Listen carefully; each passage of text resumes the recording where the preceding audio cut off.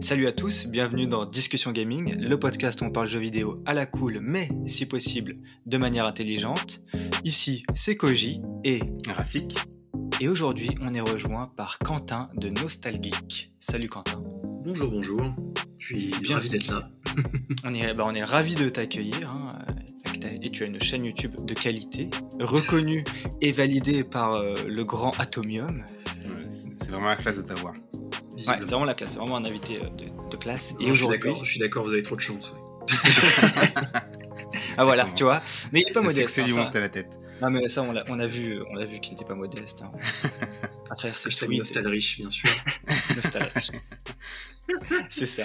Et justement, pourquoi on reçoit Quentin aujourd'hui? C'est pour parler d'un sujet. Pourquoi le jeu vidéo est-il méprisé?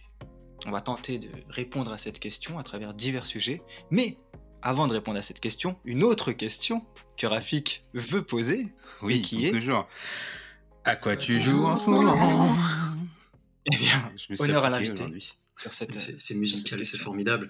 Euh, à quoi je joue en ce moment? J'ai ressorti ma PS3, je sais pas pourquoi d'ailleurs, euh, et je suis en train de refaire le premier Red Dead en ce moment. Oh. Euh, voilà, j'ai été pris d'une envie de, de cowboy et de Far West. Je sais pas ce que ça dit sur moi, mais voilà. mais t'avais joué aux deux aussi ou pas? J'avais joué, j'ai joué aux deux sur console et je suis en train de le refaire sur PC et je pense que c'est, oui, j'avais juste envie de, le refaire. Il y a une simplicité, enfin je veux dire dans le 2, il y a énormément de mécanique, l'open world est super grand, il y a plein de choses à faire, etc. Il y avait une simplicité en comparaison dans le 1 que je trouve rafraîchissante finalement en comparaison. Euh, et juste, il y, a, toujours un certain charme euh, sur le premier que le second, à mon avis, n'a pas, quand même, même c'est un excellent jeu. Euh, donc voilà. Je suis bien d'accord. Je suis d'accord avec ça. Et j'ai trouvé que dans le premier, paradoxalement, la map est plus petite, mais il y a un sentiment de découverte plus grand. Tu sais, quand tu passes la frontière au Mexique, tu as vraiment l'impression d'avoir D'être dans un autre pays, tout simplement. Dans un autre monde, vrai, et vraiment dans un autre pays, ouais. Et euh, c'est vrai que ça, tu l'as un peu moins dans le 2, j'ai trouvé. Après, j'ai trouvé rigide le gameplay du premier. Je sais pas si. Oui, oui, oui, il a pris un coup de vieux, oui, c'est clair. C'est un peu comme GTA 4, non? Ouais. GTA 4 qui a vachement bah... vieilli quand tu. GTA 4, j'ai pas touché depuis bien 10 ans, mais. il doit avoir pris un sale coup. Ouais. Ah, t'as réussi récemment Ouais, j'ai joué il y a pas si longtemps. Ça, donne vraiment l'impression du jeu PS3, quoi. Ah ouais? À ce point-là, quand même. Et du coup, Rafik, euh... Rafik, la question. Euh, à quoi je joue en ce moment? Excellente eh question. Eh bien, moi, je joue en ce moment à, à tous les jeux qui, qui sont un peu hypés en ce moment, mais les précédents, en fait. Ça veut rien dire quand je le dis comme ça. Que, par exemple, il y a Halo euh, qui va être présenté à l'E3, Halo Infinite. Du coup, en ce moment, je joue à Halo. J'ai joué à la Master Chief Collection, j'ai joué, joué, à Halo Reach et, et, là en ce moment je joue à Halo Anniversary. Euh, il y a aussi euh, Ratchet Clank euh, Rift Apart qui sort dans 10 jours, un peu moins même. Mhm. et du coup, je joue à Ratchet Clank PS4. C'est intéressant ça, parce que ça c'est un effet en fait des annonces. Exactement. Tu, tu, lances des, tu relances des sagas. C'est ça. finalement, tu as envie de rejouer. J'ai envie d'être prêt pour quand ils vont sortir. Ou, et aussi juste pour le, bon vieux temps.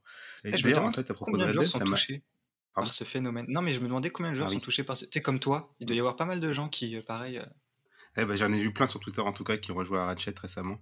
Mm. Euh, pour se hyper un peu, parce qu'il sort dans vraiment pas, pas, très longtemps. Ah, mais c'est un peu comme moi avec Bayonetta, en fait. Ah, toi aussi. parce que là, je, joue, je, joue, je découvre les deux Bayonetta. Ouais. Bon, après, je sais pas si le 3 sera enfin révélé à cette 3 à venir, mais. Permets-moi d'en douter, mais oui. Bien sûr, hein. mais, euh, mais, mais c'est un peu ça. Ouais. Un peu la nostalgie. En plus, il n'y a rien de tout nouveau qui sort, euh, qui est sorti. Donc, euh, c'est l'occasion de faire un peu ses cours d'histoire. De refaire. C'est ça. bah, moi, je fais comme toi. Je... la semaine prochaine. Ouais. Je fais un peu le nostalgique aussi. je, je, joue à Crazy Taxi de Dreamcast. Donc... Et tu joues à, sur quelle console tu joues à la version de Dreamcast? Alors là, j'ai joué sur PS, Now. Ah oui. C'est en version Dreamcast. C'est en en streaming ou c'est En streaming, ouais. D'accord, j'ignorais qu'il y était, tu vois. Ouais, il y est, ouais. Et par contre, la version PlayStation n'a pas la BO euh, ah. Offspring. Donc, bon, bah on perd quelque chose. Ouais, c'est pas le même jeu. non, mais c'est ça enlève totalement quelque chose. Eh, comme quoi, la musique, c'est important. D'ailleurs, le, le, prochain, ou alors soit le podcast qui précède, ou le prochain, ça dépend de quand dont les sort, parle de la musique dans le jeu vidéo. il y aura un podcast un jour sur ce sujet-là qui sera. Je vous invite à l'écouter. L'enregistrement a été. Disponible. Euh, il est peut-être déjà disponible alors on vous parle. On verra. Peut-être que vous l'avez déjà écouté. vous, voyez qu'on est une multinationale très bien organisée, mais soit il arrive, soit il est disponible. En tout cas, c'était un petit peu compliqué. N'hésitez pas à l'écouter ou à le réécouter, bien sûr. La continuité du temps, c'est un état d'esprit, bien sûr. Pour refaire la, la timeline, c'est aux auditeurs de recréer la, chronologie. C'est un peu Tenet, discussion gaming, tu vois. gaming, euh, Sion du ski. c'est un palindrome, effectivement. Sponsorisé par Eh bien, on peut commencer sur tout ça. C'est parti. Démarrons ce sujet de pourquoi le jeu vidéo est-il méprisé? Et la première chose pour poser les bases, on va poser cette question à Quentin, nostalgique. Déjà, le jeu vidéo est-il un art? Alors, pour moi, je commence en disant que pour moi, la question est oui. Euh, mon background à moi, euh, pour ceux qui ne me connaissent pas et qui ont probablement marre de m'entendre parler euh, à force de, live et, de podcast, moi je viens de l'histoire de l'art, c'est les études que j'ai faites et c'est véritablement ce qui me passionne. l'histoire de l'art, l'histoire de la considération de l'œuvre d'art, l'histoire de ce que c'est que l'on considère à chaque époque de notre histoire comme une œuvre d'art, et ou pas d'ailleurs, et pourquoi pas. le jeu vidéo, pour moi, même quand il s'agit de parler d'un FIFA ou de Call of, euh, comme au cinéma, on parle de blockbusters, on parle d'œuvres qui sont extrêmement populaires. Ça ne veut pas dire qu'elles ne font pas partie d'un tout qui est artistique, d'un tout qui a une empreinte culturelle. Donc pour moi, le jeu vidéo est absolument un art. Et, euh, c'est intéressant de préfacer cette discussion sur la méprise du jeu vidéo et son évolution, préfacer ça en disant que le jeu vidéo est un art, parce que, euh, bien entendu, ça va grandement influencer la manière dont on va en discuter, ça va grandement influencer le discours qui vient après. Voilà. C'est intéressant ce que tu dis, ça me fait penser à un truc du coup, par rapport à l'art. En fait, euh, j'ai l'impression, peut-être que je me trompe, et comme toi, tu es un peu calé sur le sujet, tu pourras me dire si c'est pas le cas, que l'art euh, contemporain de notre époque et des époques précédentes, à chaque fois, il a été un peu décrié. Bien si on pense au, début du XXe siècle, euh, l'art un peu abstrait qui commence à émerger, ou même le pointillisme, il me semble, c'était mhm. un petit peu des, des, des bah, même les peintures, qui étaient décriées. Donc, Tu sais, les peintures qui étaient assez réalistes à un moment et qui montraient des corps dénudés, c'était c'était aussi méprisé un petit peu. Euh, ouais, c'est vrai, tu avais, ce côté-là. Ouais, et du coup, c'est un, peu un message d'espoir parce que le sujet, c'est pourquoi le jeu vidéo méprisé. Peut-être que c'est juste une histoire de temps, même si ça commence à faire aujourd'hui. À mon avis, c'est le cas. Et, euh, et, et, bon, on y reviendra bien entendu, mais euh, le, il y a eu déjà ces dernières années beaucoup de changements de ce point de vue-là. Ouais, ça le jeu vidéo, je pense à mon sens, c'est quand même moins méprisé aujourd'hui qu'il y a 10 ans, énormément moins. Euh, et puis il y a cette logique en fait de, culture et de contre-culture et, cette logique cyclique en fait. Il y, a, une contre-culture et puis ceux qui adoptent la contre-culture sont déjà de plus en plus nombreux et euh, grandissent, font partie intégrante de la société. Hein. on n'est plus des gosses, on a grandi, euh, on a des jobs, on se marie, on fait des gosses, on les élève. Et enfin, certains d'entre nous. et du coup, il y, a ce cycle de contre-culture à culture, bon, pas, pas, forcément culture dominante, mais culture, partie intégrante de la culture. Du coup, oui, il y, a cette logique cyclique qui est intéressante, tout à fait. Euh... C'est eh ben, ce, que, ce que je me disais quand j'étais petit. Tu sais, je me disais quand ça sera quand j'avais 8 ans, que moi j'aimais bien les jeux vidéo, mais que c'était un petit peu euh, décrié, méprisé, que quelqu'un de 40, 50 ans, tu pouvais même pas enfin, il en parler, enfin, c'était abstrait pour lui. Et je me disais, mais ça sera marrant le monde quand euh, tous ces gens là qui jouent un petit peu à des jeux qui ont 8 ans, ils auront tous 35 ans, et bah ça sera normal, tous les adultes ils connaîtront les jeux vidéo, tu vois, et ce cycle justement quand tu parles de contre-culture, bah, c'est exactement ça. Et on y est un petit, on y est euh, complètement en ce moment. Mais malgré tout, on, sent quand même aujourd'hui qu'il y a quand même une, un regard euh, particulier sur le jeu vidéo et qu'il est vraiment pas euh, considéré au même titre que les autres. Euh, c'est clair, parce que c'est sûr que tu, tu es dans une discussion, tu es avec des, des, gens que tu rencontres, des inconnus, etc. Moi, tu t'intéresses à quoi? Euh, Ça sera plus classe de dire oh, je m'intéresse à l'art, euh, la peinture, la, la, musique du XVIIIe siècle, j'adore Rodin, tu vois, plutôt que de dire je suis passionné de jeux vidéo, je trouve que Hideo Kojima est un créateur génial. Tu vois, ça, ça sera toujours plus compliqué de sortir si tu ça. Dis, si tu dis je suis fan de l'œuvre d'Hideo Kojima, ça passe. Si tu dis j'adore les jeux, c'est fini. Au revoir. c'est moi-même coupable pour discuter, pour draguer en soirée, de dire que je suis, je suis historien de l'art tout de suite, ça fait son petit effet. Hein. c'est vrai, c'est ça. Mais c'est ça, c'est plus classe, tu vois, de parler d'art en général et, des, autres arts qui précèdent le jeu vidéo que du jeu vidéo. Et ce, qui, est justement, moi j'ai un paradoxe par rapport au, jeu vidéo, c'est que pour faire un jeu vidéo, euh, il faut que tous les, donc les sept arts, on va dire, qui précèdent en comptant le cinéma, euh, soient euh, agrégés pour faire un jeu vidéo. Un jeu vidéo, ça agrège de l'architecture, de l'écriture, de la musique, de la composition, du, de la mise en scène. Qu'est-ce que j'ai oublié? De la sculpture, parce que la modélisation euh, des, Tout à fait. personnages, etc. On pourrait même dire de la danse si on compte euh, la, motion capture parfois. Le mouvement, c'est l'art du mouvement, etc. tu vois, ça combine tous les arts précédents pour. Il faut tout ça pour faire un jeu vidéo. Ça. Donc, on appelle ça un art total d'ailleurs. Voilà, bah, c'est pour ça qu'on t'a invité, c'est pour avoir ce genre de, remarques. Petite remarque un peu pointue. voilà, c'est un art. Voilà, c'est un art total. Je savais pas le terme, mais voilà, c'est vraiment. C'est un petit peu. Alors c'est une métaphore qui n'est pas forcément l'avantage de vidéo, mais c'est un peu le MMA des, euh, des arts, tu vois. il faut. Mais tu vois, il faut du judo, de la capoeira, du machin. Et hop, tu fais ça, ça s'appelle le MMA. Bah, le jeu vidéo, c'est architecture, écriture, poésie, mise en scène, cinéma, musique, relié, hmm. ça fait un jeu. Et, tu vas retrouver des jeux qui euh, euh, sont plus concentrés sur l'un des arts aussi, selon la sensibilité de, l'artiste. Qui... Et puis au final, c'est pour ça aussi qu'on a, enfin pas toutes bien entendu, mais on a des expériences, notamment dans les terrains indés, euh, qui, sont aussi fortes à, tous les points de tous les points de vue. Ah mais visuellement c'était fou, musicalement c'était fou. Je veux dire, on parlait tout, tout à l'heure d'avoir un discours sur quelqu'un qui a une vue un petit peu réduite du jeu vidéo. Aujourd'hui, on peut faire jouer, euh, tu, tu, trouves on va l'appeler le boomer pour le pour, pour l'exemple. Euh, tu, tu l'assieds devant, devant une télé avec une play et tu, le, tu fais jouer à Journey, par exemple. Ouais. Et tout de suite, il va y avoir tout de suite une incompréhension. On va dire ah ouais bon d'accord, ok, il faut tuer quoi? Ouais, euh, C'est clair. Où est le score? Quel est le but? Ah, Non, non, mais balade-toi, apprécie quoi. Ah bon, on peut faire ça dans le jeu vidéo? Ah incroyable. Tu vois Et donc, on a des expériences comme ça qui sont qui sont des arts totaux et qui permettent euh, donc de, changer les mentalités, à condition que la personne veuille bien euh, se poser devant la, devant la télé. Quoi. Voilà. Mais alors d'où viennent ces, euh, ces a priori négatifs sur le jeu vidéo à la base? Comment ça se fait que les gens, ils ont pas en tête le fait que le jeu vidéo, ça peut être autre chose que tuer des monstres. Et tu vois, c'est ça qui est marrant, c'est, et c'est ça qui est très paradoxal, c'est que tu, pour en fait, si tu t'attaches, à, si tu regardes un making of d'un jeu vidéo, tu te rends compte la somme d'artistes et il faut même, pour un bon jeu, il faut plusieurs génies, parce que tu as toujours quelqu'un qui, qui porte le, qui, qui, incarne, comme Hideo Kojima, euh, la vision, etc. Mais Hideo Kojima, il y a d'autres génies à côté de lui. Il y, a, des génies du codage, il y a des il y a génies. Shinkawa, déjà, qui sont numéro 2 depuis des années, depuis Metal Gear, euh, qui, euh, qui est responsable de toute la création graphique et, iconographique des, des, jeux de Kojima, que ce soit Metal Gear ou Death Stranding. Et oui, oui, bien sûr, il faut, il faut ça, tu vois il faut beaucoup, d'artistes et énormément de talent à tous les niveaux. Même, à mon avis, as des, tu vois, chez Naughty Dog, c'est un peu plus obscur, mais tu as des artistes du codage. Parce que pour euh, programmer des jeux comme ça et, faire, et faire quelque chose de cohérent qui fonctionne, c'est extrêmement compliqué. Ou l'intelligence artificielle aussi.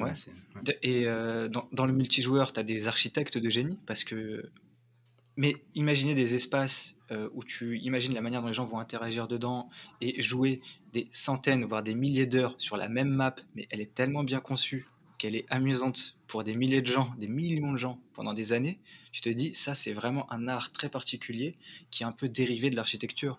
Tout à fait. Et ça, c'est euh, pas forcément reconnu. Tu vois, Call of Duty, on va pas dire, ouais, voilà, c'est pas le jeu qu'on mettrait en égérie pour euh, parler de jeux vidéo à quelqu'un qui, qui, le méprise ou qui, qui ne le connaît pas. C'est vrai que peut-être qu'on se rend pas compte, comme tu dis, de. Enfin, le grand public, on va dire, parce que à force de jouer à des jeux et de les finir et de voir le générique qui se termine pas, on peut en avoir conscience, mais le grand public n'a pas forcément euh, en tête ce que ça représente, en fait, de construire une œuvre euh, vidéoludique. Ça peut paraître être encore un truc fait dans un garage par deux trois mecs mmh. qui ont des pulsions sanguinaires et donc on, c'est ça. Bah, Rafik, ce que tu disais, euh, pour, pour, pour, réagir à ta question, c'est pas forcément une réponse, mais euh, c'est la même chose qui est encore présente aujourd'hui dans, dans, dans, la musique. Hein. Euh, c'est-à-dire que tu as énormément de musique aujourd'hui à l'ère de Spotify, et etc. N'importe qui peut se broadcaster, peut, peut avoir un MacBook qui traîne, un vieux MacBook qui a 10 ans, et euh, installer GarageBand et faire un hit, tu vois. Et euh, il y a énormément de bonne musique qui, qui, sort aujourd'hui. Euh, L'analogie fait pas, fait pas forcément sens là maintenant, mais elle le fera, ça, ça viendra. voilà. En gros, et il y a, y a, ce discours qui est très redondant, c'est oui la musique, la musique c'était mieux avant, je veux dire la musique aujourd'hui c'est de la grosse merde, etc. Mais combien de ceux qui disent ça font l'effort d'aller chercher au-delà du mainstream, combien font l'effort d'aller chercher au-delà euh, de, des tendances, euh, des tendances Spotify? Alors je crache pas sur les tendances Spotify, hein, mais euh, bon voilà. mais Petit c'est encore, pour un, encore pour un gros con. Bravo. c'est pour ça, c'est pour ça qu'on ouais, bien sûr. Euh, et du coup, il y, y, a cette logique aussi, ben, euh, mainstream contre faire l'effort. Euh, et je le dis pas, enfin, j'essaie de pas le dire de façon moralisatrice. Vous voyez, c'est euh, juste passer du temps et si tu aimes ce médium, si tu aimes un médium, tu vas être tenté d'écouter les recommandations et d'aller au-delà du voile un petit peu. Ouais. Euh, de, ce voile un peu TF1 de ah bah oui, bah, le jeu vidéo c'est GTA et c'est Call of. Et puis euh, éventuellement Battlefield parce qu'il y en a un qui, euh, qui a shooté, je sais pas mm. qui, il jouait à ça et on n'a pas pu, on n'a pas pu trouver le lien. Voilà, c'est il y, y, a cette logique de, de, faire un petit peu, de prendre le temps, de prendre le temps de connaître le médium parce que combien même, quand bien même on serait entouré de pop culture, quand même on serait entouré de musique, quand même on serait entouré de discours sur les jeux vidéo, c'est pas pour autant qu'on est à même de se faire une image de la globalité de ce médium-là.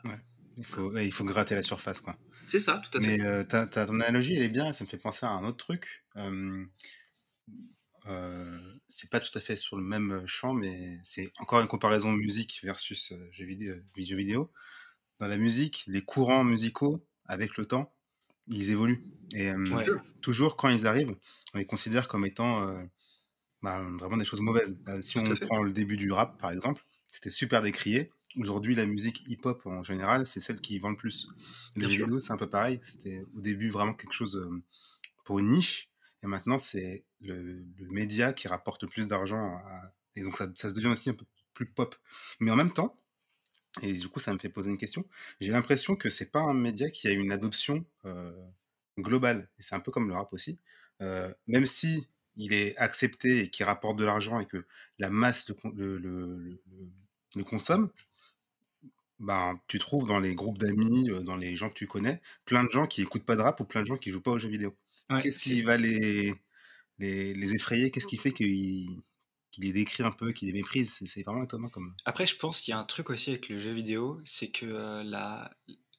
contrairement à la musique euh, ou à la littérature ou au cinéma, la porte d'entrée est un peu plus compliquée.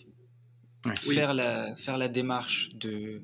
de, de bah, faut acheter une console, il faut avoir un PC, puis il faut avoir un pad en main ou un clavier souris et, jouer. C'est déjà euh, plus compliqué que de lancer Spotify et d'écouter un peu de la musique. Bien sûr, bien sûr. Donc déjà, si, si, tu t'y connais rien et que ça t'intéresse pas, que tu en entends les oui dire euh, à droite à gauche et que toi tu n'as jamais eu une manette en main, ça va être compliqué de, d'aller vers ça. Donc déjà, c'est... Après, tu as des contre-exemples, hein. tu as la Wii qui est un petit peu euh, démocratisée et fait essayer, euh, fait essayer le, jeu vidéo à toutes les grands-mères de France. ça, c'est, ça, c'est quand même un tour de force euh, énorme, tu vois. Moi, je l'ai vécu, j'ai joué au bowling avec ma grand-mère, c'était vachement et fun. Et voilà. c'est clair. mais on a, tous, on a tous un exemple comme ça, et c'est, ça qui est incroyable, c'est un, un, tour de force assez, assez grand, et c'est aussi un, tournant dans la perception, parce que ça, ça a montré des jeux aussi différents c'était autre chose que des, jeux de tir ou des jeux d'action, etc., qui sont toujours les jeux décriés. Et tu vois, paradoxalement, tu dis, tu, dans ton exemple, euh, Quentin, tu, disais, euh, tu citais GTA, euh, Call of, Battlefield, etc. Mais en plus, ces jeux-là, si tu regardes de près, enfin, GTA, c'est une œuvre d'art incroyable. Oui. C'est une œuvre culturelle absolument. Tout à fait. Mais ceux qui tiennent ce discours-là sur ceux qui, je pense à l'interview de, de, Billard, les décideurs,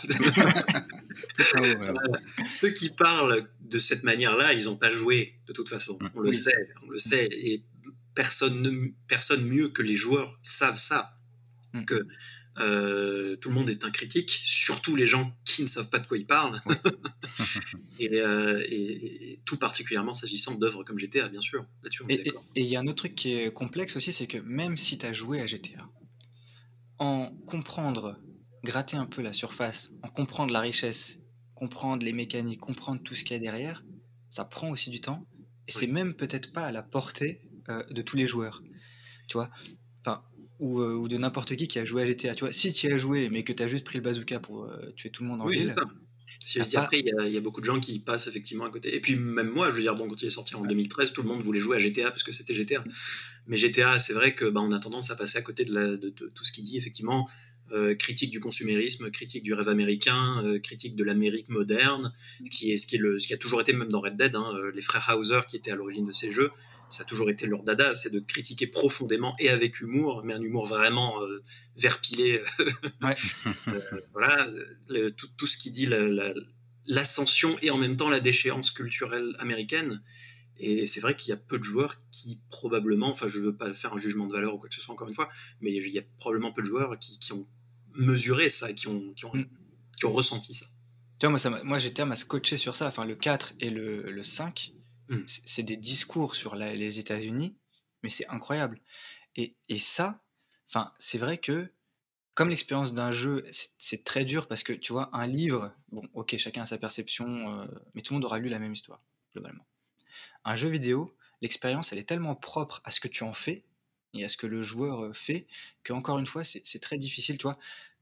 Soit tu centres ton gameplay pour, euh, par exemple, tu fais un insight où, tu où là, l'intention de l'auteur et l'histoire est tellement euh, guidée que c'est évident pour tous les joueurs. Personne ne va passer à côté. Mais quand tu fais un jeu aussi, risque aussi riche que GTA ou Red Dead, tu prends le risque que 30% euh, des joueurs passent à côté de, du message, 40% euh, des joueurs passent à côté euh, du multi. enfin, tu vois. Ouais, c'est sûr. après, en l'occurrence, Rockstar, ils en foutent, ils vendent je sais pas combien de millions. Oui, oui, oui. à la fin, ouais. à la fin, les gens ont L'objet culturel, c'est bien, mais bon. mais c'est ce qui... Non, mais c'est ce qui fait la, la, complexité de, tu vois, de, de l'appréciation de ce qu'est un jeu. Bien et sûr. notamment pour le grand public et quelqu'un qui euh, ne s'y connaît pas forcément. C'est très dur d'aller gratter à la surface et de comprendre ou un jeu qui mécaniquement est un chef-d'œuvre, tu vois, on va dire dans ces mécaniques de jeu, ça aussi c'est très dur à expliquer à quelqu'un qui joue pas. Expliquer à quelqu'un qui joue pas que Bayonetta c'est génial, c'est compliqué. Tu vois, et surtout que visuellement, moi, tu vas voir une euh, femme hyper sexualisée qui, euh, tu vois. oui, donc franchement, le premier cliché qui, qui passe, c'est euh, le jeu, c'est le truc de, mec un peu accro. Ouais, c'est ça, c'est c'est sexiste et c'est complètement vulgaire et machin. Alors qu'en fait, c'est c'est génial, mais c'est super dur à l'expliquer. Euh. Parce qu'il y a des codes, tout simplement.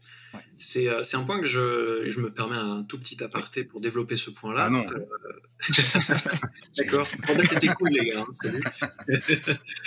non, non. comment dire C'est un point que je suis en train de développer dans, dans, dans, une vidéo que je suis en train de faire pour, qui concerne la difficulté dans le jeu vidéo. Il y, a, y, a, cet auteur qui est formidable, que je conseille à tous ceux qui écoutent, qui s'appelle Umberto Eco, qui a écrit un bouquin qui s'appelle L'œuvre ouverte et qui disait que, effectivement, comme tu disais, Koji, euh, quand quelqu'un arrive devant une œuvre, quelle qu'elle soit, bon, en l'occurrence, il prenait l'équivalent d'une toile, eh bien, il amène avec lui inconsciemment énormément de choses, ses ressentis, ses connaissances sur la peinture ou, ou ses ignorances sur la peinture aussi, en l'occurrence. Il va les projeter sur cette toile et cette toile va le lui renvoyer. Et en fait, ce qui se passe, c'est la même chose avec le jeu vidéo, c'est-à-dire que si tu arrives sans les codes, il y a, possiblement un, moment où tu vas te dire, en fait, on soit on se fout de ma gueule, euh, ou soit c'est pas pour moi, je comprends pas. Alors, est-ce que c'est mauvais? La sensation est mauvaise, la sensation n'est pas, pas agréable. Après, je fais partie de ceux, et on revient du coup sur le jeu vidéo est-il un art? Et moi, je pense que oui. Pour apprécier pleinement l'art, à mon avis, ça ne concerne que moi, il faut quand même faire encore une fois, il y a cette notion d'effort et d'investissement qui revient, faire un petit effort quand même de gratter la surface, comme tu disais, Koji, et, euh, ou Rafik, je sais plus. Et, et, euh, Peu importe. Nous sommes qu'un. Voilà, c'est ça. Vous êtes une seule personne, mais en fait, vous bougez très vite. c'est vachement bien fait. Hein, mais... je change ma voix depuis le début. Là, je vais devenir Rafik. Regardez, écoutez. Ça. Bonjour, c'est moi, oui. Voilà. Donc, faire, faire, ce, faire ce petit effort qui n'est pas, qui est pas monumental, mais aujourd'hui, en fait, on a cette logique de, de, divertissement pur, et du coup, il faut que ça nous tombe direct dans la bouche et qu'on qu'on consomme le divertissement. C'est ce qui est arrivé avec Returnal en fait. Hein. Oui, mais on peut pas jouer à Returnal. Ben oui, peut-être que c'est pas juste fait pour vous, ou peut-être que vous n'avez pas passé le temps qu'il faut à jouer à des jeux un peu plus difficiles. la difficulté étant un des codes du jeu vidéo, de certains jeux vidéo, pour pouvoir avoir cette, cette, aisance dans l'appréciation du jeu. Et, et c'est pas grave. C'est pas grave.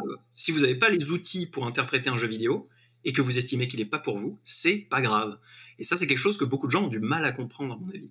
Oui, parce que j'ai entendu, dans, tu vois, dans, bah, c'était un débat sur la difficulté qui a, qui a popé un petit peu et qui a, qui a un petit peu animé euh, la toile, et j'entendais beaucoup des arguments du style, mais il faut que l'art soit universel, ouvert à tous, euh, que tout le monde puisse y accéder, etc. Ça, vous arrivez devant un Picasso, si vous n'avez pas les outils pour le comprendre, vous allez vous dire c'est de la merde. Et, je, et, suis con, et en fait, je suis euh, pas du tout d'accord avec le fait que l'art, c'est si universel que ça parce que l'art, c'est hyper, comme tu disais, culturel en fait. Enfin, c'est lié à ta culture. Je veux dire, c'est tout bête, mais enfin, ton bagage culturel, ta culture initiale, ta langue, la manière, la langue change la manière dont tu perçois le, monde et les, œuvres. Bah, ça change et ça, et ça te donne accès à certaines œuvres ou pas. Et, et, c'est pour ça que, par exemple, c'est très dur pour parfois des occidentaux d'apprécier des œuvres asiatiques. Oui. Parce qu'ils parce qu'ils peuvent pas s'y projeter, ils ne s'y reconnaissent pas, ils, ils, ont du mal à. Tu vois, à un moment, le manga, quand il est arrivé en France, c'était pareil, c'était vu comme une euh, bizarrerie, et c'était euh, c'était bizarre pour beaucoup d'Occidentaux.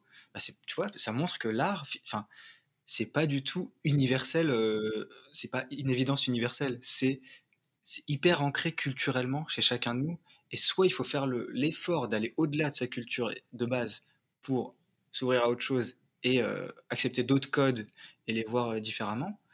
Mais sinon, c'est, enfin, c'est pas tout totalement universel. Donc l'argument de dire un jeu est trop difficile et c'est pas bon parce que ça le rend pas universel ouvert à tous, bah, oui, mais pareil, tu disais un Picasso, bah, je suis désolé, tu, tu, tu montres un Picasso à, je sais pas, un Indonésien qui a jamais vu de peinture occidentale, machin, bah, c'est quoi ça? C'est quoi ce truc? C'est comme le jazz, tu vois, t'écoutes du jazz la première fois à un concert, tu te dis c'est quoi cette euh, cacophonie?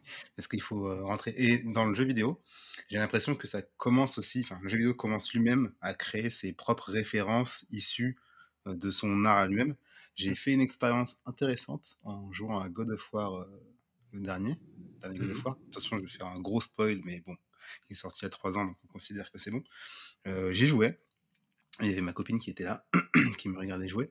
Et quand on finit, le jeu, euh, bah quand on joue, enfin, d'abord, quand on joue au jeu, tout au long du parcours, comme dans n'importe quel autre jeu, il y a des petites marques jaunes qui t'indiquent quel est le chemin que tu dois prendre en grimpant.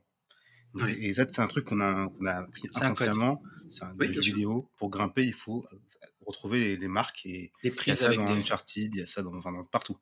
Et quand tu finis le jeu, tu découvres qu'en fait, les marques, c'est pas juste des codes de gamer, mais ils ont été positionnés par la femme de Kratos. Donc à la fin du jeu, tu comprends que c'est elle qui a positionné partout les marques et qu'en fait. Pas toujours là, c'est intégré dans la diégèse, mais c'est pas toujours le cas. oui, oui, exactement. Et euh, ça, c'est là, c'est intégré, comme tu dis, dans la diégèse. D'habitude, d'habitude, c'est pas le cas. Parfois, c'est juste des repères pour pas qu'on se perde. Là, c'est intégré. Et quand j'ai vu ça, j'étais en mode waouh, génial. Ils ont euh, vraiment retourné le truc. Et j'ai voulu expliquer ça à ma copine. Elle disait bah non, je, je, comprends pas ce qu'il y a de fou. Enfin, je comprends pas. et du coup, je me dis en fait, vraiment, euh, ça commence à devenir quelque chose qui est autosuffisant quoi. Et l'art se crée, se renouvelle lui-même en, son sein quoi. Oui, c'est un peu comme, comme nous, si quelqu'un, enfin moi, tu vois, je, je suis pas hyper calé en peinture et euh, je suis au Louvre avec lui et là il me dit mais regarde, là c'est incroyable, il a tel, euh, il a réussi à coudre le coup de pinceau comme ça et moi je dirais ouais, je, Ceci est une référence à Vermeer, mais si regarde bien. Je pourrais ah pas me rendre compte à quel point c'est génial parce que j'aurais pas le background culturel, tu vois, et le, le, savoir qui fait que je dis ah oui là ils ont réussi à faire quelque chose, tu vois, à, à retourner parce que j'ai pas la, la culture et oui. Et, c'est comme tout, le jeu vidéo, bah, il, faut, aussi une culture euh, vidéoludique pour euh, comprendre la... J'ai réagi, à ce que tu disais, Koji, euh, il y a deux minutes sur, le, sur les œuvres qui étaient autour de l'Océanie, etc. Mmh Même plus proche de nous. je pense au musée Jacques Chirac. ce sont des œuvres qui sont d'Afrique noire. Il a fallu attendre, si je dis pas de bêtises, alors il faudrait que je, que je revérifie mes dates, mais J'imagine que quelqu'un me le dira si dis une connerie. Mais il me semble qu'il a fallu attendre les, attendre les années 90, donc il n'y a pas si longtemps que ça, pour qu'on reconnaisse des, milliers, mais des milliers de masques traditionnels africains comme de l'art. Parce qu'avant, c'était juste des objets cultuels. Ça pouvait pas être de l'art parce que ça venait d'une, ça venait de, de, de, de, tribus un peu, un peu sauvages. Euh, voilà, ils ont pas la civilisation. Euh, quand même, ça, ils sont pas des artistes. Ils ont fait ça dans leur, dans leur petit culte à eux. Ça peut pas être de l'art. Alors que bon, je veux dire, bon, à un moment donné, il faut arrêter de. c'est ça aujourd'hui, hein, je le vois euh, sur Internet, des gens qui vont décrier cet art-là en disant bah c'est pas de l'art, c'est un truc primitif qu'ils ont fait dans leur grotte avec des bouts de bois et de la terre. Ouais, et il y a le côté aussi art, c'est un mot qui est joli, qui est, euh, qui est euh, comment dire, valorisant. Mmh. Quand on, on élève quelque chose en d'art, on le valorise.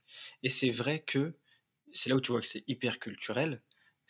Certains, dans leur culture, ne veulent pas admettre que d'autres choses sont de l'art pour ne pas les valoriser. Bien sûr. après, après c'est dans le fort intérieur de chacun, mais après, il il faut pas essayer d'imposer son discours à, quelqu'un d'autre. L'art, c'est vrai que c'est quelque chose qui est avant tout subjectif. Hein. Je veux dire, quand, quand, quand, Marcel Duchamp prend un urinoir dans je sais plus quelle gare de Paris et fout un prix dessus et dit ok d'accord c'est de l'art. Alors pour la plupart des gens il va se dire oui non mais il, fait juste le con. En fait non c'est un discours sur ce que, ce que représente l'art, justement sur, le, sur la subjectivité profonde de la notion d'art. Mais, mais effectivement tout le monde ne l'a pas vu comme ça. Et, euh, et c'est marrant parce que c'est une œuvre qui décrit la subjectivité de l'art et au final a été méprisée. Donc il y a une espèce d'ironie parce que le serpent se meurt la queue. Quoi. Il a réussi son coup. C'est ça. Mais c'est ça aussi qui est dur dans l'appréciation d'une œuvre, c'est de, de, comprendre l'ensemble de la démarche. Tu vois, quand, tu vois que ce qu'on te rapporte, bah, c'est comme l'œuvre qui a été vendue invisible là récemment. Il y a une œuvre invisible qui a été vendue 15 000 euros. Nice. Ah, c'est du foutage gueule là par contre. En fait, c'est un socle sur lequel il n'y a rien. Et il, dit, ça, il avait dit ça, c'est la statue de. Il a, il a exposé d'ailleurs, il a exposé une statue de, de Bouddha en plein Rome. Donc il y avait un carré. il y avait marqué là, c'est la statue de Bouddha, invisible. C'est vraiment trop En fait, en soi, le truc là n'est pas tu vois, une œuvre géniale, mais la démarche dans son entièreté, ça, bien sûr. Elle, elle, elle, dit quelque chose. c'est l'intention de l'auteur. S'il le fait pour se faire du fric en disant qu'il va bien les berner, c'est pas cool. Mais si il y a vraiment une réflexion, ça devient un truc. Et puis s'il y a des gens qui, sont, qui ont envie de donner du fric euh, pour la démarche, ma foi, hein, C'est ça, c'est un peu comme des, bah des c'est un peu comme des gens qui participent à ton Tipeee. Écoute, ils, exactement. ils veulent bien donner. Bah. Et si on faisait un podcast silencieux, tiens, 25 minutes de silence, on va le vendre. Juste pour les abonnés, euh, premium bien sûr. Un monochrome de Whiteman. c'est ça. Bah, je pense que là, on a un petit peu fait le tour de la question. On a statué. Nous avons euh, voter à main levée. Le jeu vidéo, c'est un art. Voilà, basta. Vous n'êtes pas content, c'est pareil. non, chacun est libre de penser ce qu'il veut. Nous, de notre point de vue et de ce qu'on a vu, on, estime que oui, évidemment. Et en partant sur cette base, donc, on parle d'un art. Et euh, comment cet art est-il traité, par exemple, dans les médias généralistes Est-ce que le, la manière dont il est traité dans les médias généralistes, justement, altère la perception auprès du grand public qui ne s'y connaît pas? On a eu l'histoire des, euh, des, gens qui jouaient à des Meuporg, un journaliste qui tweetait les MMORPG. Et, on a eu un exemple avec euh, bah, Squeezie quand il était reçu chez Ardisson et qu'il expliquait qu'il euh, streamait, euh, qu'il était sur YouTube, à jouer aux jeux vidéo. On s'est dit, ouais, dit, bah toi, t'as tout compris, t'es le plus gros branleur de la Terre. Voilà. Donc, encore un cliché, une image renvoyée. Après, c'est Ardisson aussi, on va pas lui demander d'être gentil, mais bon. oui, c'est vrai. Mais c'est le moment où tu te rends compte que il y a une déconnexion un peu ah, entre les générations, entre lui et son public, ou alors entre euh, lui et le reste du monde. Quand tu, tu t'as pas la, le, tu te rends pas compte du mépris que tu peux avoir pour euh, un public qui est plus majoritaire. Tout le monde euh, joue aux jeux vidéo, tout le monde ce, qui est, ce, qui est, ce, qui est, marrant, c'est que oui, c'est, je crois qu'il y a 2,5 milliards de personnes qui jouent à des jeux sur Terre. Au moins, c'est sûr. C'est pas mal. C'est un considérable de personnes. De, plus en plus de personnes de tout sexe, de toute nationalité, etc. Il me semble que c'est PlayStation qui la semaine dernière avait sorti des chiffres on était à plus de 40% de, 41% de femmes qui, euh, qui, qui, étaient possessrices, possesseuses, possessoresses, propriétaires. Voilà, propriétaires de. Euh, le gars, le gars qui est alsacien, c'est puis bon, euh, de, de, de, PlayStation. Euh, bon, là, on est que dans la PlayStation, mais même, c'est un chiffre que je trouve formidable. Ouais. Ça veut dire que ça concerne tout le monde. C'est pas, c'est pas, on est moins sur quelque chose, moins sur une niche qu'avant, quoi. C'est D'autant plus que hum, D'ailleurs, à chaque fois qu'il y a des études, tu sais, sur les, euh, le public du jeu vidéo en termes d'âge, de sexe, de d'habitude, etc., c'est toujours, ça va toujours à l'encontre. Ça, ça balaye un peu le, cliché de, qu'on peut se faire du joueur à chaque fois. Il y en a plein des clichés. On peut, quand les chiffres du CEL, le syndicat euh, du jeu vidéo, je pensais à cela. Ils disent souvent que hum, y a, on est proche de 50-50 de jeux vidéo, de, mmh. d'hommes et femmes qui jouent aux jeux vidéo. Et ben, ce que tu peux te dire, c'est que de toute façon, les filles elles jouent aux jeux casu sur PC. Mais dans les faits, euh, euh, sur PC, sur smartphone, pardon. Euh, mais dans les faits, en fait, c'est pas vrai. C'est, beaucoup plus réparti. Et la, les chiffres de, de Sony, c'est sur une console PlayStation. Donc, pour le coup, ça permet un peu de rééquilibrer le, débat. Oui, tout à fait. Oui, sur une console. Et là, on parle des, euh, des chiffres, tu vois, et dans... donc qui balaye un petit peu le cliché un petit peu euh, du joueur euh, de 15 ans, otaku, tout seul dans sa chambre, un peu geek. Il y a aussi d'autres choses que tu vois dans les, dans les médias et qui peuvent... Moi, par exemple, c'est une discussion que j'avais entendue au travail entre des collègues qui avaient la cinquantaine, on va dire, et qui disaient... ils parlaient de GTA, tu vois, ils parlaient de GTA, et ils disaient, mais t'imagines... Alors déjà, c'est là où j'ai vu qu'à la fois il n'y avait pas la conscience de ce que c'est que de faire un jeu, un GTA, parce qu'ils disaient ouais dans ce jeu tu peux voler des voitures et tu nana. Ils disent mais tu... le plus fou c'est de se dire qu'il y a un mec qui a pensé à faire ça et qui l'a fait et ils l'ont mis. Euh, il y a des gens qui jouent à ça donc comme si c'était une démarche d'un allumé. Euh, voilà comme si GTA c'était un petit peu euh, la démarche solo d'un petit allumé dans son garage qui a fait un jeu de, de psychopathe. Donc déjà il y a cette méconnaissance sur le ce qui est dur de GTA c'est une œuvre monumentale qui agrège des des centaines d'artistes pendant plusieurs années pour faire un jeu. Et là, il y avait le côté homme, ça sort du garage de quelqu'un. Et euh, ça, me, ça me faisait aussi rebondir sur autre chose. Déjà, la perception, est-ce que c'est un art ou pas? Bah Là, il pense que non. Et le, raccourci qui vient souvent entre jeux vidéo et violence, que moi je trouve hyper paradoxal. Parce que d'un côté, on se dit le cliché du joueur, c'est un petit peu euh, le petit blanc, hein, en général, qui joue tout seul dans sa chambre et qui, en général, est plutôt, euh, on va dire, le, pas trop la figure de la violence dans l'imaginaire collectif. Et paradoxalement, on dit le jeu vidéo rend violent. Donc, il y a une, déjà, il y a deux clichés qui se confrontent et qui ne se valident pas, qui ne se fracassent les uns les autres, tu vois, entre ces deux perceptions. Donc, moi, je trouve ça assez marrant. Et pareil, le raccourci entre euh, jeu vidéo et violence, Ouais, et même si, ce qui est drôle, c'est que du coup, euh, oui, tu peux imaginer que en fait, la plupart des joueurs, ils sont bah, comme tout le monde plutôt euh, pacifistes. Enfin, ils se passent pas leur temps à tirer sur tout le monde. Mais si une personne se met à commettre un acte euh, de cruauté, si on découvre, on découvre qu'elle est adepte des jeux vidéo, on va forcément avoir envie de, de mettre la, jeter la pierre sur les jeux vidéo. Alors que, bah, en fait, il y a tous les arts, encore une fois, ils peuvent avoir une dimension violente. Et... ce, qui, est marrant, c'est pourquoi on le fait sur les jeux vidéo. Tu vois, par exemple, je vais faire un exemple à con. Imagine, il y a un jeune là qui euh, est l'auteur d'une fusillade aux États-Unis et après, il fouille sa chambre, il faut Oh, il y a un livre Il y a un livre dans sa chambre il, faut se dire, il faut se dire qu'il y avait exactement le même discours par rapport au rock'n'roll à une époque, il y a 60 ans, tu vois. Mm-hmm. Euh, enfin, vous voyez. Il y a, il y a, le cinéma aussi. Le cinéma, bien sûr, le cinéma, mais tous les arts, c'était le, c'était, c'était le diable, c'était, euh, c'était le démon, c'était la corruption de la jeunesse. Oh là là, mais la jeunesse est perdue. On a des, on a des films où on voit des trains qui arrivent.